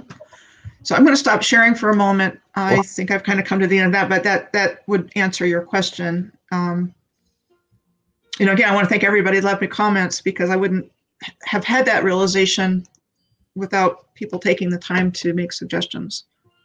Absolutely. And it just it just snowballed from there. And that's how the work the work is moved forward because it's uh you know these people who are leaving comments like I say with um when they when I promote and want people to come over to my the, the MeWe thing because you can have this stuff right outside your door and there's nothing mm-hmm. stopping you from taking a picture or uh, leaving a comment on Michelle's videos, and she would go right into it and hammer on it. You know, it's it's invaluable. And again, there it also underlines why there is utility in continuing this research. Now, um, I just want to say a shout out to fellow researcher Bernard Conkin. He's amazing. Check out his uh, oh, YouTube oh, cool. channel, and he he and I are going to solve this mystery. Bernard. Yep, Bernard. He's Eye, the third eye science guy, and he is nice. just amazing. Welcome, Bernard. he's he's an expert on Walter Russell, so oh. we're going to be digging into that and other things as well. I'll probably send you like 50 emails by the end of the day. yeah, it's uh That's another thing too. It's a good point to note though. Don't be afraid to send an email. That's how I was uh, got in communication mm-hmm. with you, Michelle, you know, and mm-hmm. everybody that I looked up to when I first entered into this um, by hitting a, a YouTube channel yourself, even Phil uh, Campbell, um, UAP. Uh, there's so many I'm not mentioning, but um, I feel grateful that I'm interviewing you now, and it's very cool, mm-hmm. full circle. So let's go. Let's see where we at. The next question: um, cathedrals. You think, and, and the radial grid patterns. I think that we have addressed that. I I, I think that the radial grid patterns are um, radiating out from the center of these um, star forts, and again, the narrative behind them is kind of confusing because mm-hmm. the Ellicott brothers is that what we have the question? Matter of fact, let's just read this. Do you uh, think sometimes uh, the accompanying radial street grid patterns emanating from the center point, usually a square with a monument or obelisk, even are related to stars, uh, and, and, in a bigger sense, the other radial street patterns a part of the Earth grid system. I think that we did address that. How was the ancient advanced civilization aware of aware of that grid pattern too? It's another good. They, they just, I mean, they knew who they were, they knew where they were, they knew why they were here. There was no question about that. You know what? Um, I, I, I can I, I like to dovetail on that a little bit in the sense that we were talking about before we started this, how we have a general rise in uh, consciousness, and we want to say the aether has gotten thicker. We're having more synchronicity. Um, I think it a lot of they were able to do a lot of these buildings because it ha- comes down to the morality of the people, right? And you're able to come together, and maybe if you didn't have to worry about nine to five work and whatever, I know it's a whole paradigm shift, but literally you have to start thinking like that because in order in order for people to come together to make stuff like this, you have to have a very morally um, aligned uh, society because it has Mhm. to be able to um, come together. And for example, to compare contrast with what right now, this we would not be able to build these cathedrals now, but maybe at some point in time, not taking into account the history of things and how things go up and or a, a slow progression from, you know, Darwinism, if you will. It could just be it could be a series of ups and downs, and it, that lends to the reset thing and obfuscated timeline. And and really to really receive this information and to open yourself up to it you have to be comfortable with releasing and accepting that everything we've been told is a lie. You have to be, you have to be comfortable with that because when you do that the information starts to come in and when you start seeing what's there it starts coming in. And berserker bear and i did a, an interview not too long ago on do it yourself field research and anybody can do this you know and once you start doing it, it it you will get information back but you have to see things differently and question what you've been told and that's key And don't be afraid to send an email if you're in- Mhm. interested. Um, I get a lot of them. I, I try to respond back as much as I can, but we need the scope, you know. And like I said, there is utility in to keep on doing the research. So, yeah, Yeah. radio patterns.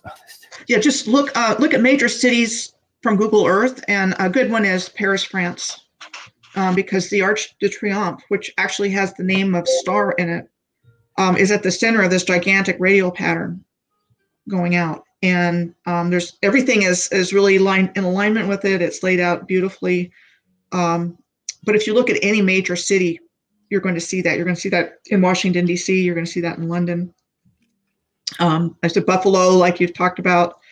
Um, I want to let you show more of your research that you've got pulled up, but there is one thing that I want to mention that you had on your miscellaneous off-topic points Yes, because it's just another indicator, and I want to talk about the Ames brothers, if I may. absolutely.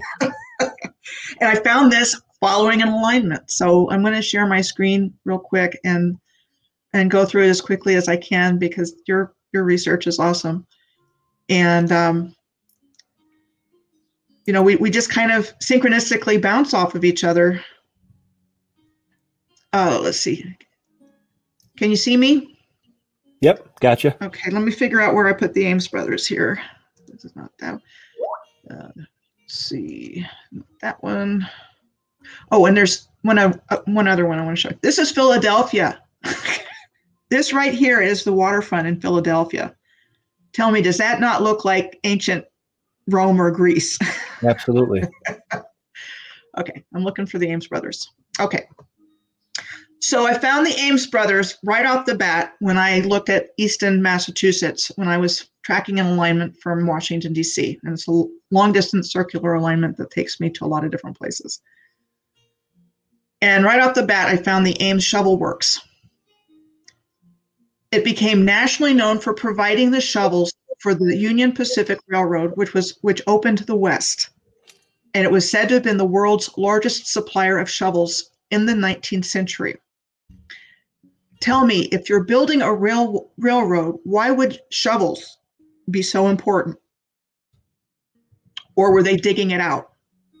Which is what I think. And uh, this is the Oakes Ames Memorial Hall that was said to have been commissioned by the children of Oakes Ames as a gift to the town of Easton and built between 1879 and 1881 and then the. Um, so this guy Richardson, Henry Hobson Richardson, is given the credit for the architecture, and he was given the credit for a lot of different places. Let me tell you, a genius guy. Um, but he never finished his architecture studies. he was in Paris, but because of the Civil War, he never finished. and he died at the age of 47. Of course, Civil War is always pivotal. After a prolific career in the design of mind blowingly sophisticated and ornate buildings of heavy masonry. Um, I'm going to go through some of my uh, sidetracks here. And then he was also given the credit for the, the, the Ames Free Library right next to it that were that was commissioned by this guy, the brother of Oakes, um, that he left will for the constru- money for the construction of a library in his will, and that that was built between 1877 and 1879. Okay, so Oliver and um, um, I'm sorry, Oliver and Oakes were the co-owners of the Ames Shovel Shop, and he was the president of the Union Pacific Railroad from when it for, it met the Central Pacific Railroad in Utah for the completion of the first transcontinental railroad in North America. So Oakes Ames was a member of the U.S. Congress House of Representatives from Massachusetts from 1863 to 1873 and is credited by many as being the most important influence in building the Union Pacific portion of the first transcontinental railroad. And he was also involved in the Credit Mobilier scandal of 1867 regarding the improper sale of stock of the railroad's construction company. Ah, Ponzi. he was formally censored by uh, censured by Congress in 1873 for his involvement in the scandal, and he died that same year. But he was exonerated by the Massachusetts state legislature in 1883, which was the 10th anniversary of the completion of the railroad. And Ames, Iowa, and Ames, Nebraska were na- named after Oakes, the criminal. The criminal, right? And this is the Ames Monument near Laramie in Wyoming, which is also credited to Henry Hobson Richardson and built between 1880 and 1882 for their role in financing the Union Pacific Railroad. How is that any different from today? What's going on? I mean, always been shady, right? But I mean, that whole story is just, um, you know, a really great example of, you know, something's not right here it bounce it bounces off with the Ellicott brothers, and they're always brothers because they can have the narrative in two different places at the same time. I think um, mm-hmm. because uh, there's Ellicott brothers, the dudes that did Buffalo, the radio street pattern in Buffalo, allegedly, and um, 1804 when uh, it was the village of Buffalo. Before that, actually, matter of fact, they did call it New Amsterdam, which is confusing because they called New York City New, Am- New Amsterdam also, but Buffalo, mm-hmm. the village of Buffalo, was also. called New Amsterdam before Holland uh, land purchase bought it. But um, yeah, allegedly, Ellicott, uh, Joseph Ellicott is responsible for doing the radial street pattern here in Buffalo. And I'd like to play those clips right now regarding that. Because, you know, the Ellicott brothers, allegedly Joseph, did the one in Washington D.C. as well, and that's why they have similar street names or whatever. Allegedly, you know, it's just very convenient, like we were saying before. It doesn't add up, you know. And of course, there's also Olmsted brothers, like the um, Robert Law Olmsted in the parks here. Of course, they were brothers too. So, okay, now what I'm going to do here is show a video of me um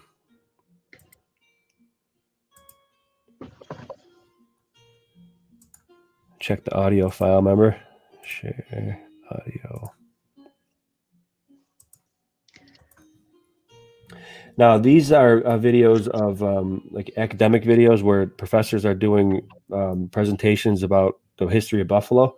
And I pulled out a good one here and I want to play it. I think it's he realized that the future. He now he's talking about Joseph Ellicott here, I believe. Realized that the future Western New York was in Buffalo, not in Batavia. So he decided to establish a road system um, that he felt would spur economic development, which had currently not met expectations. He liked the concept of running avenues at acute angles, like spokes radiating, radiating from a hub, an idea first implemented by the Ellicott brothers at the federal capitol in Washington D.C. Allegedly, like they want to take it off of the like old European styles. They they give them the credit for that. So when the time came to lay out Buffalo streets, Ellicott used the same system, spreading from a hub that is Niagara Square today. Uh, this is an old map of the Holland Land Company purchase. So there you go. Joseph Ellicott is credited for the radial street pattern in Buffalo. Meanwhile, I think that it was dug out, like we were saying, whether it was from a liquefaction event. I think that might bring us into the next question. He's also responsible for um, the Erie Canal as well. And you know what? I might as well play the other, the other one here with, along with this. Yeah, go for it. I've been hogging the time. Okay, thank you. Oh, you're We good. have a comment. Okay, thanks. This is in, this is interesting. Okay, moving ahead in time, December 30th, 1813. I think a day that will live in Buffalo history. On December 10th of that same year, General George McClure was the commander of American forces in the Niagara area, senselessly burned the Canadian town of Newark, Newark, which was now uh, Niagara on the Lake. Then he retreated from the west side of the river. The settlers on the American side protested this burning of a defenseless town, an act of cruelty, but feared retaliation. But sure enough, the British forces, augmented by Native Americans, crossed the river and surprised Fort Niagara and proceeded to destroy Lewiston. Two days later, they continued marching up the river, destroying the villages of Manchester, which is now Niagara Falls, stopping at Tonawanda Creek, where the bridges were destroyed by retreating American forces. So the villages of Black Rock and Buffalo were still on edge, but they were saved for now. They garnered militia forces from Genesee and Chautauqua counties, which came in to defend Buffalo, and confidence returned. However, this quickly when on December 30th, it was realized they were no match for the British and Indian forces that quickly took and burned the villages of Black Rock and then Buffalo. Panic stricken, most residents fled the village, and all that was left were a few resistors, which were eventually killed or taken prisoner, all due to the senseless act of General George McClure. So Buffalo had to rebuild, and Joseph Ellicott was a big part of that rebuilding. He was a major player by this time.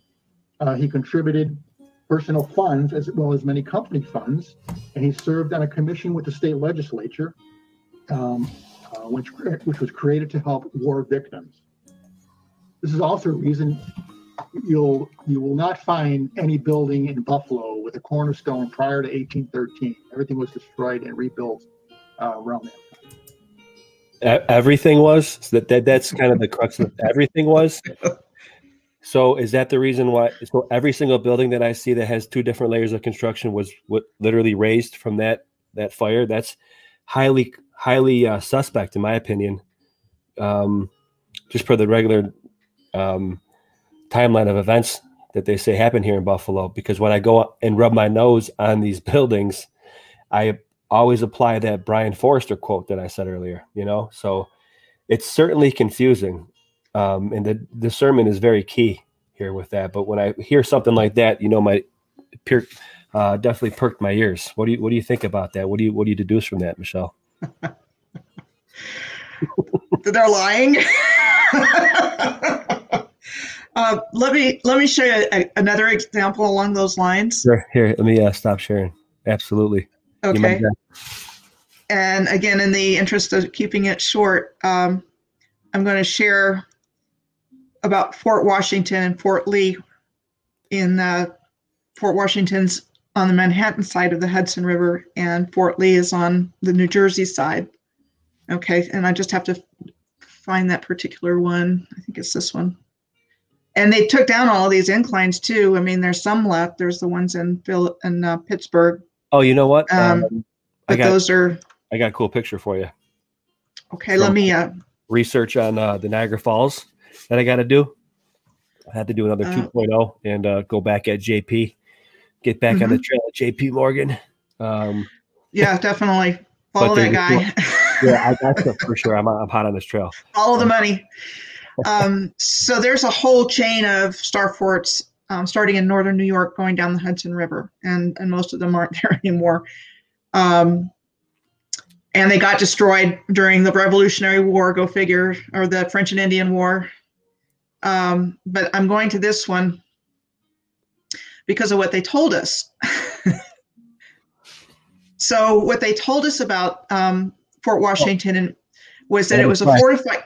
I'm another sorry. Plaque. Another plaque. yeah, another plaque. Um, Fort Washington was a fortified position at the island's highest point near the north end of Manhattan, said to have been constructed to prevent the British from going upriver starting in June of 1776. By, sorry, I laugh when I read this. Starting in June of 1776 by Pennsylvania battalions of the Continental Army for General George Washington. Fort Lee, also known as Fort Constitution, was said to have been constructed starting in July of 1776 on top of a bluff on the Hudson Palisades directly across the river from where Fort Washington was being built at the same time on the other side.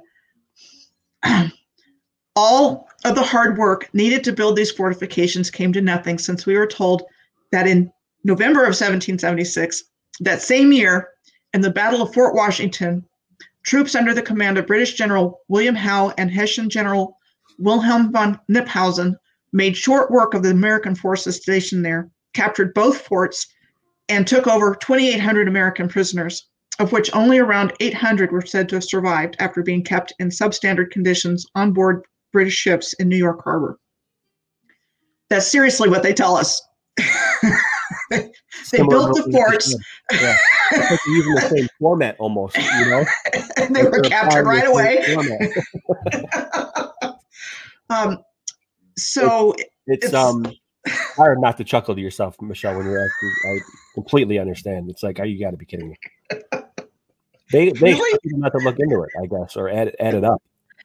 and guarantee if you go visit those places, I'm sure that's what they say. Exactly. Yep. So that's why we have right to question, right? When um just by logical deduction. Okay. Um then let me show you this cool picture actually. Oh boy, where is it? The, you had a cool picture of the Lewiston incline, and I found this one doing my research on uh, Niagara Falls. Man, I'll tell you, when I'm doing research on this Mhm. place, I honestly get a feeling of uh, like Huck Finn meets um, Huck Finn, Tom Sawyer meets Pirates of the Caribbean. Great analogy. Check it out. Look at that. So this is a, a old depiction of the Lewiston Incline. That one picture that you had uh, going through your homework that you gave me. I'm like, oh, that looks similar to the one that I found. I'm like, oh, it is the old Lewiston Incline, and I found this one in an old book on archive.org. And look at that. So you have an incline going all the way up the. This is the Lower Niagara Gorge here, up to a uh, pulley system and whatever they were doing here. Uh, they pull, probably pulling some stuff out. Um, yeah, I just get the feeling this, this place was a lot more like whimsical. You get like a Huck Huck Finn, Jack Sparrow esque type of deal with this. It's just it's fascinating, and it that's what drives me to do the research. Michelle is finding stuff like this, you know, and then watching a video of yours, and I see something that looks like I'm like, oh, that is it. You know, you make those connections. It's very special, and it's those synchronistic uh, clicks that we get that kind of confirm the hunches sometimes when you're doing research. You know, I'm sure you could speak to that. yeah, I mean, synchronicity is a huge part of this. Huge. Okay, so And- let's. Uh, oh, go ahead. No, I'm just I'm done. Okay, yeah. Um, moving right along, let's go to the next question. Do you think, um, and this comes from one of the one of my fellow bears, paraplegic bear. Shout out to you, my man. Uh, and this is a great, um, I think, deduction because of the way that they're shaped. But I know they're on hills, might be a little counterintuitive, but uh, can they have been drains uh, from the flood? You know, some visually appear similar to drains with the many narrow openings. Um, same with the water towers, you know, the little slits, almost like they could be used to drain. Uh, with the whole underworld idea and the Piranesi underworld dungeon pictures that uh, Martin Liedtke has shared before, and they do seem some of these star forts to be depressed underground. Now I wonder, not necessarily for drains, but it makes me think of, you know, how the cannonballs were saying that they were being shot at them. It almost looked so. I think in my opinion, Michelle, for those hydraulic mining uh, mining monitors, they may have been pointing those at these old castles and and literally just using because cannonballs would would add up, gunpowder would add up if they can literally just canal and use monitors to um, shoot at these castles. Well, the next uh, progression I think in defense would be to have sloping things. That actually could be more of a defense for um, shielding and shedding water if if the monitors were used as weapons, as I as I suspect they may have been. I, I see it as being a benevolent civilization. Um, so whatever functions, and not only the stars, but all of the infrastructure had, it was, I think, for positive purposes. Um, I mean, after all the research that I've done, that's the only conclusion that I can come to is that they weren't fighting each other. They were they were creating great beauty together.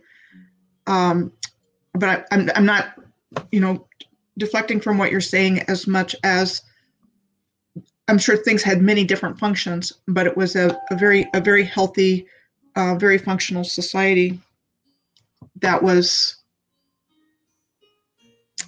reconnecting with you know their higher selves and you know like i said they, they knew who they were so they weren't distracted by by the things that we have to distract us like you know having to work and uh, yeah. watching watching tv or watching movies or going to the ball game or playing cards. You know there's this guy around sedona. See him all the time. He's walking along and he's an expert with tossing a knife. And he's he spends all of his time you know with this routine that he's got and he you know never drops it. He's perfect with it. But i'm i the last time i saw him thinking is that is that how you're spending your life? You know um and you know that's kind of what is. We we focus on doing the best that that we can and we're not here to be consumers and spending all this money and giving the people that have done this money for what they've done i mean we're paying them to to do the crap that they've done.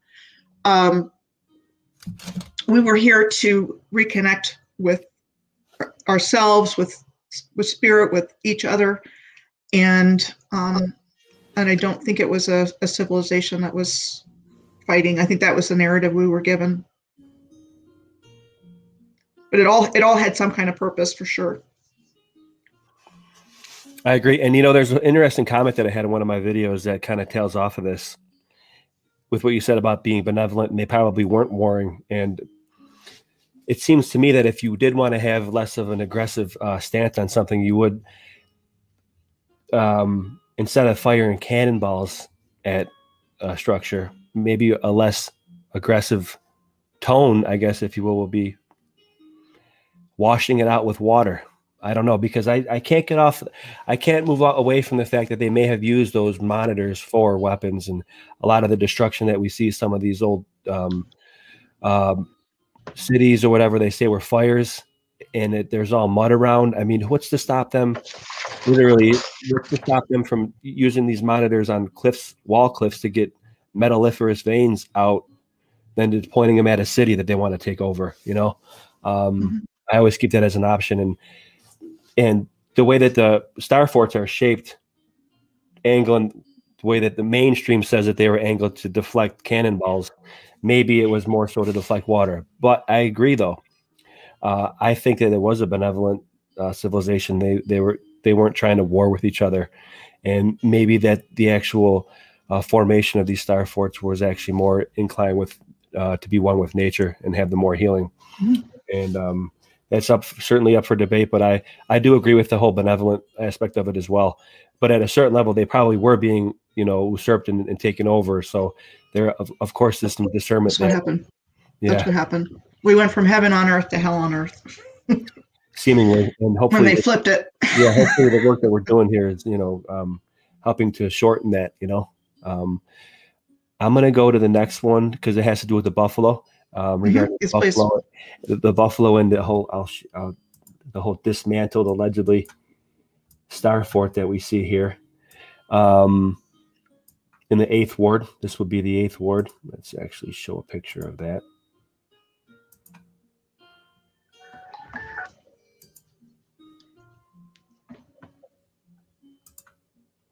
So this is the Erie Basin Marina right here.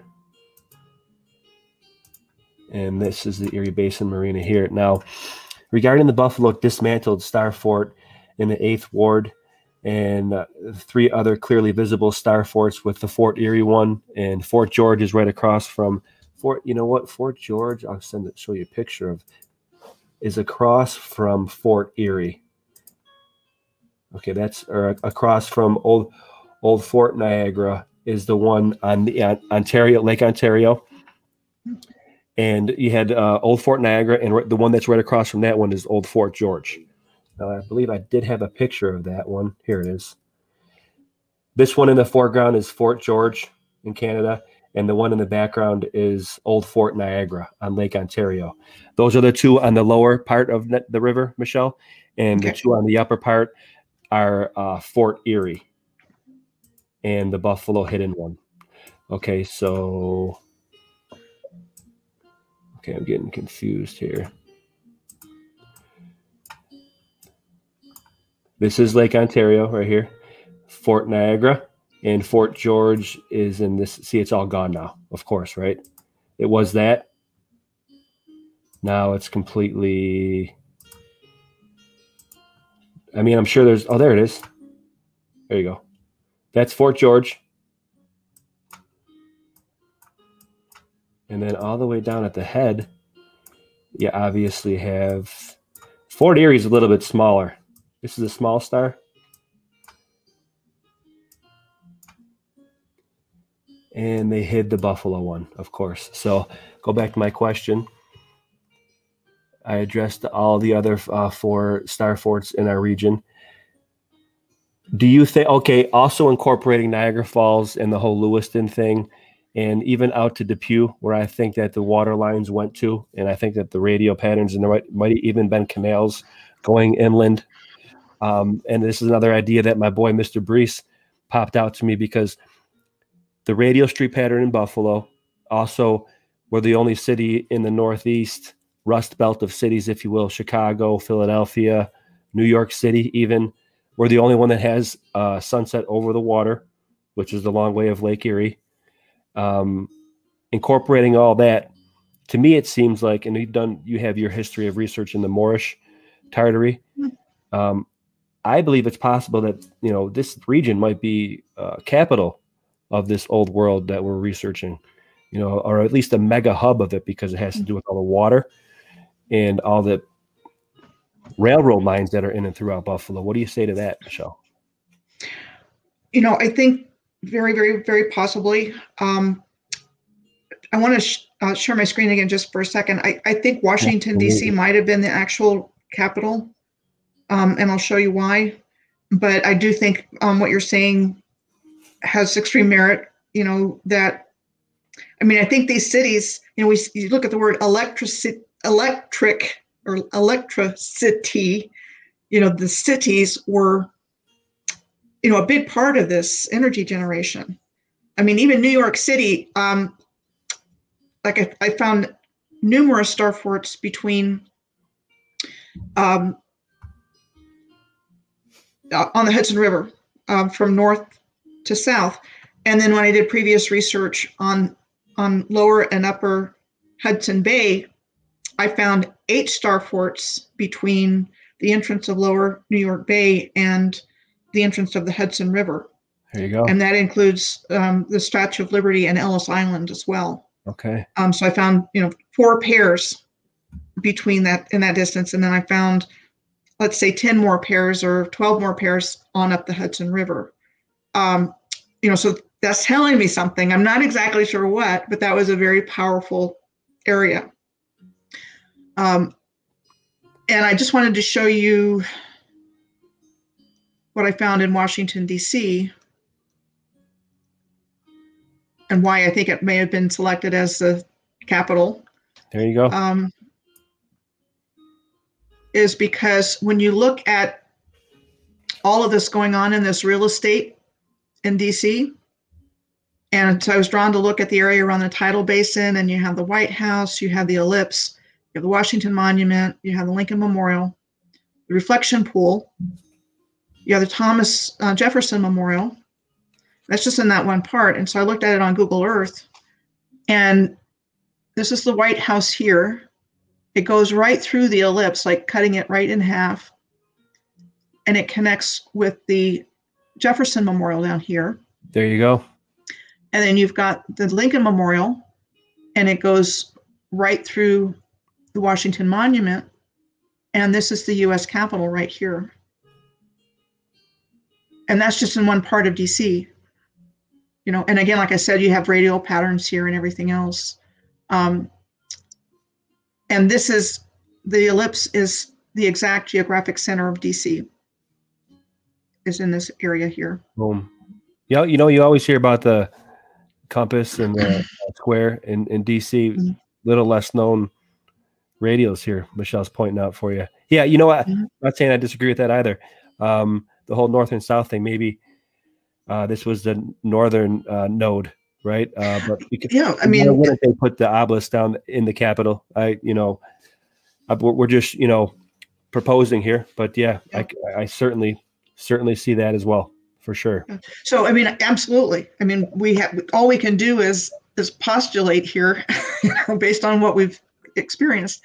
Um, I just want to share one more thing here before I I stop screen sharing, and that is um, this is from my exposing exhibitions, expositions, and world fairs since 1851. And you had mentioned the Corliss steam engine in your up, up topic questions. Uh, so it was said to have been invented by George Henry Corliss and patented in 1849, and is a steam engine with rotary valves and variable valve timing, and is 30% more fuel efficient than conventional steam engines. Okay, this was um, the full one, and it powered this 1400 horsepower engine was on display and generated all the energy used in the machinery hall during the Philadelphia 1876 exhibition. Where did it go? Okay. So, who knows? Um, and so I had put these views up that I found when I was researching it of what it looked like from different angles. And somebody left me a comment and said, that looks like a, Vim, a Vimana, which is an ancient flying machine. And I looked it up. And sure enough, it does. Does go back you know you've got the same Yeah. shape you know, you've got the same same thing going on here makes me think of You know? Praveen Mohan's channel. Great channel. so that was a that was another find that was kind of startling Antiquitech. And you know what? Here, let me uh bounce off that. And what I'll do, Michelle, is so, we can get it wrap this up. What I'll I'll do the I'll do the top um the top point, bullet point, and the off topic points, so we can round in our friend John. And uh, let me uh share this too right quick. Go off the Corliss. So this is on the Library of Congress map. All roads lead to Buffalo that I use in my intro, my little quick intro video that Mr. Brees made for me. Um, look what it says on here, Michelle. Have a chat with a phonograph. A magnificent Corliss engine supplies the power that keeps all belts and wheels of machinery hall in motion. You can think of no mechanical industry which is not represented. Yonder is a great uh, perfecting printing press, turning out thousands of copies of newspapers. Every article in which has been written, put in type, and stereotyped on the fairgrounds before your eyes. That was all powered by that Corliss uh, wireless engine. You know, and what is, again, words have meaning. What does Corliss sound like? Cordless. You know, cordless phone. Um, fascinating. So that's a good sync right there too on the map that Um, I've been using forever. electric dow is asking a question about the starforts being portals to the underworld Uh, you know definitely i mean Possibly. there's so many things we don't know uh, wormholes and and that kind of thing and I, I tend to think they were that sort of like a battery function um, and i'm going to share one more time real quick Sure.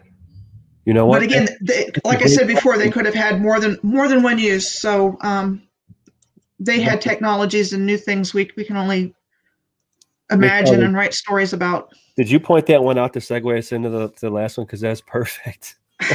no, but I saw the comment. Um, so a battery, um, also called galvanic battery or voltaic battery, is a combination of two or more cells electrically connected to work together to produce electric energy. Um, and I think I saw where you came in late, Electric Dow, but um, the star forts occur in combinations of pairs or more. There's at least two star forts and or more. And so I tend to think they were, um, you know, they were functioning some kind of in some kind of capacity as circuitry. But saying that the civilization knew all about portals and and things like that. I mean, I that could still fit under the same roof, Michelle. Like it could be a general a portal, but it could also be. Mm-hmm. They could also have be uh, entrance ways to tunnels that could perfectly be mm-hmm. feasible. That they are also they're dual purpose or maybe even triple purpose. Um, yeah, the whole Piranesi underworld um, artistic renderings again that I've uh, cited that Martin Liedtke has has shown and showcased before. That's absolutely fascinating, and that kind of does bring me into what I like, uh, how I'd like to wrap this up. Um, in the spirit of another phenomenal researcher who brought me into this uh, whole um, rabbit hole, if you will, Jon Levi. Um, another fascinating researcher. I, I, really look up to his work as well. And in the spirit of his second channel, the Off Topic, Jon Levi Off Topic. Well, this isn't necessarily off topic because it's still on Star but he had a um, he showcased Star. I couldn't find this video um, where he he referenced a, a, another channel, IRS Media, who was actually going and mapping 3D Star all over, and it kind of looked like the actual substrate of the realm itself was made of nodules of these star forts, and they pop out of the terra or the substrate, whatever you will, or even the crust. Um, we're not getting into that debate really, um, but I thought it was fascinating because it does lend credence to that idea that there might be an underground interlaced tunnel system, and the top and the surface is connected with these nodules of star forts that are maybe in line with your your your flower of life pattern. And I thought that was a good um, video that I'll cite, and I'll try to find that one and share it. As above, so below. right. Ex- that whole that that whole idea as well, and that, everything's connected, in, interconnected by a lattice of a flower pattern and flower of life, like everything created under logos, uh, from my opinion. But um, yeah, that doesn't take away from the uh, idea that there could be an underworld connection with that as well. Absolutely. And That was a great question. Great insight there. Um, and Electric Dow is saying that the civilizations are still down there, and, and I agree. You know, talk about Agartha and Inner Earth. Um, another thing that is um, something to look at are volcanoes. And Jules Verne novel, The Journey to the Center of the Earth, um, the characters in the story enter from, I believe, from this there's a volcano in Iceland, a stratovolcano, and I'm not even going to try to pronounce it. I don't I don't remember what it is, but it's like one of those long Icelandic names. Um, they enter that, and then they find, you know, this this world inside, and then they exit by the Stromboli volcano, which is in in Italy. And so um, I think they're interested as well, the volcano system. Very interesting. Yeah, I I wouldn't disagree with that because I think that volcanoes, the whole narrative and definition of them, from what uh, I addressed with with Philip and even Campbell doing uh, work on the spoil tips, because they can literally actually New Earth has done uh, videos on how the mining excess spoil tips can literally act like volcanoes because it all coalesces. So mm-hmm. Yeah, it's all connected, and it again, there is merit in doing the research. And uh, Heartline Realm, thank you very much for that super sticker. That's amazing. And that might be the first one that I've ever got. So you're on the board for that one. Thank you. Very, very cool. I didn't even know I kept that on. one other one other thing to add about volcanoes is I think the ancients yeah. knew how to harness that energy, and that was part of their secrets of how they created all of this. Um, I found volcanoes all over, all along alignments. I found them in France. I found them yeah. in Australia. That reminds me um, of what I wanted to tail off of earlier. I'm sorry, Michelle. Um, no, no, it's fine. About uh, how they how they knew of the nodes. How did how did, for example, the ancient Moorish or Tartarian or however you want to call it, that ancient benevolent civilization, high society or high, advanced civilization, how they found these nodes. And maybe they just, the way that we're experiencing synchronicities now, they just progressed way more along that path of uh, everyone was um, more ascended, if you will. I hate to say that we're all, but we're all fallen. It is what it is, in my opinion. They were more on on a path of enlightenment, and maybe they were able to feel the energies. You know, That's, that's the path we're supposed to be on. agree. That's a great way to put it, Michelle. And That's the path we were on. they literally were able to feel it, or maybe they were even act- actually able to see it because they're just so much more spiritually progressed. And that's some place where we can get to.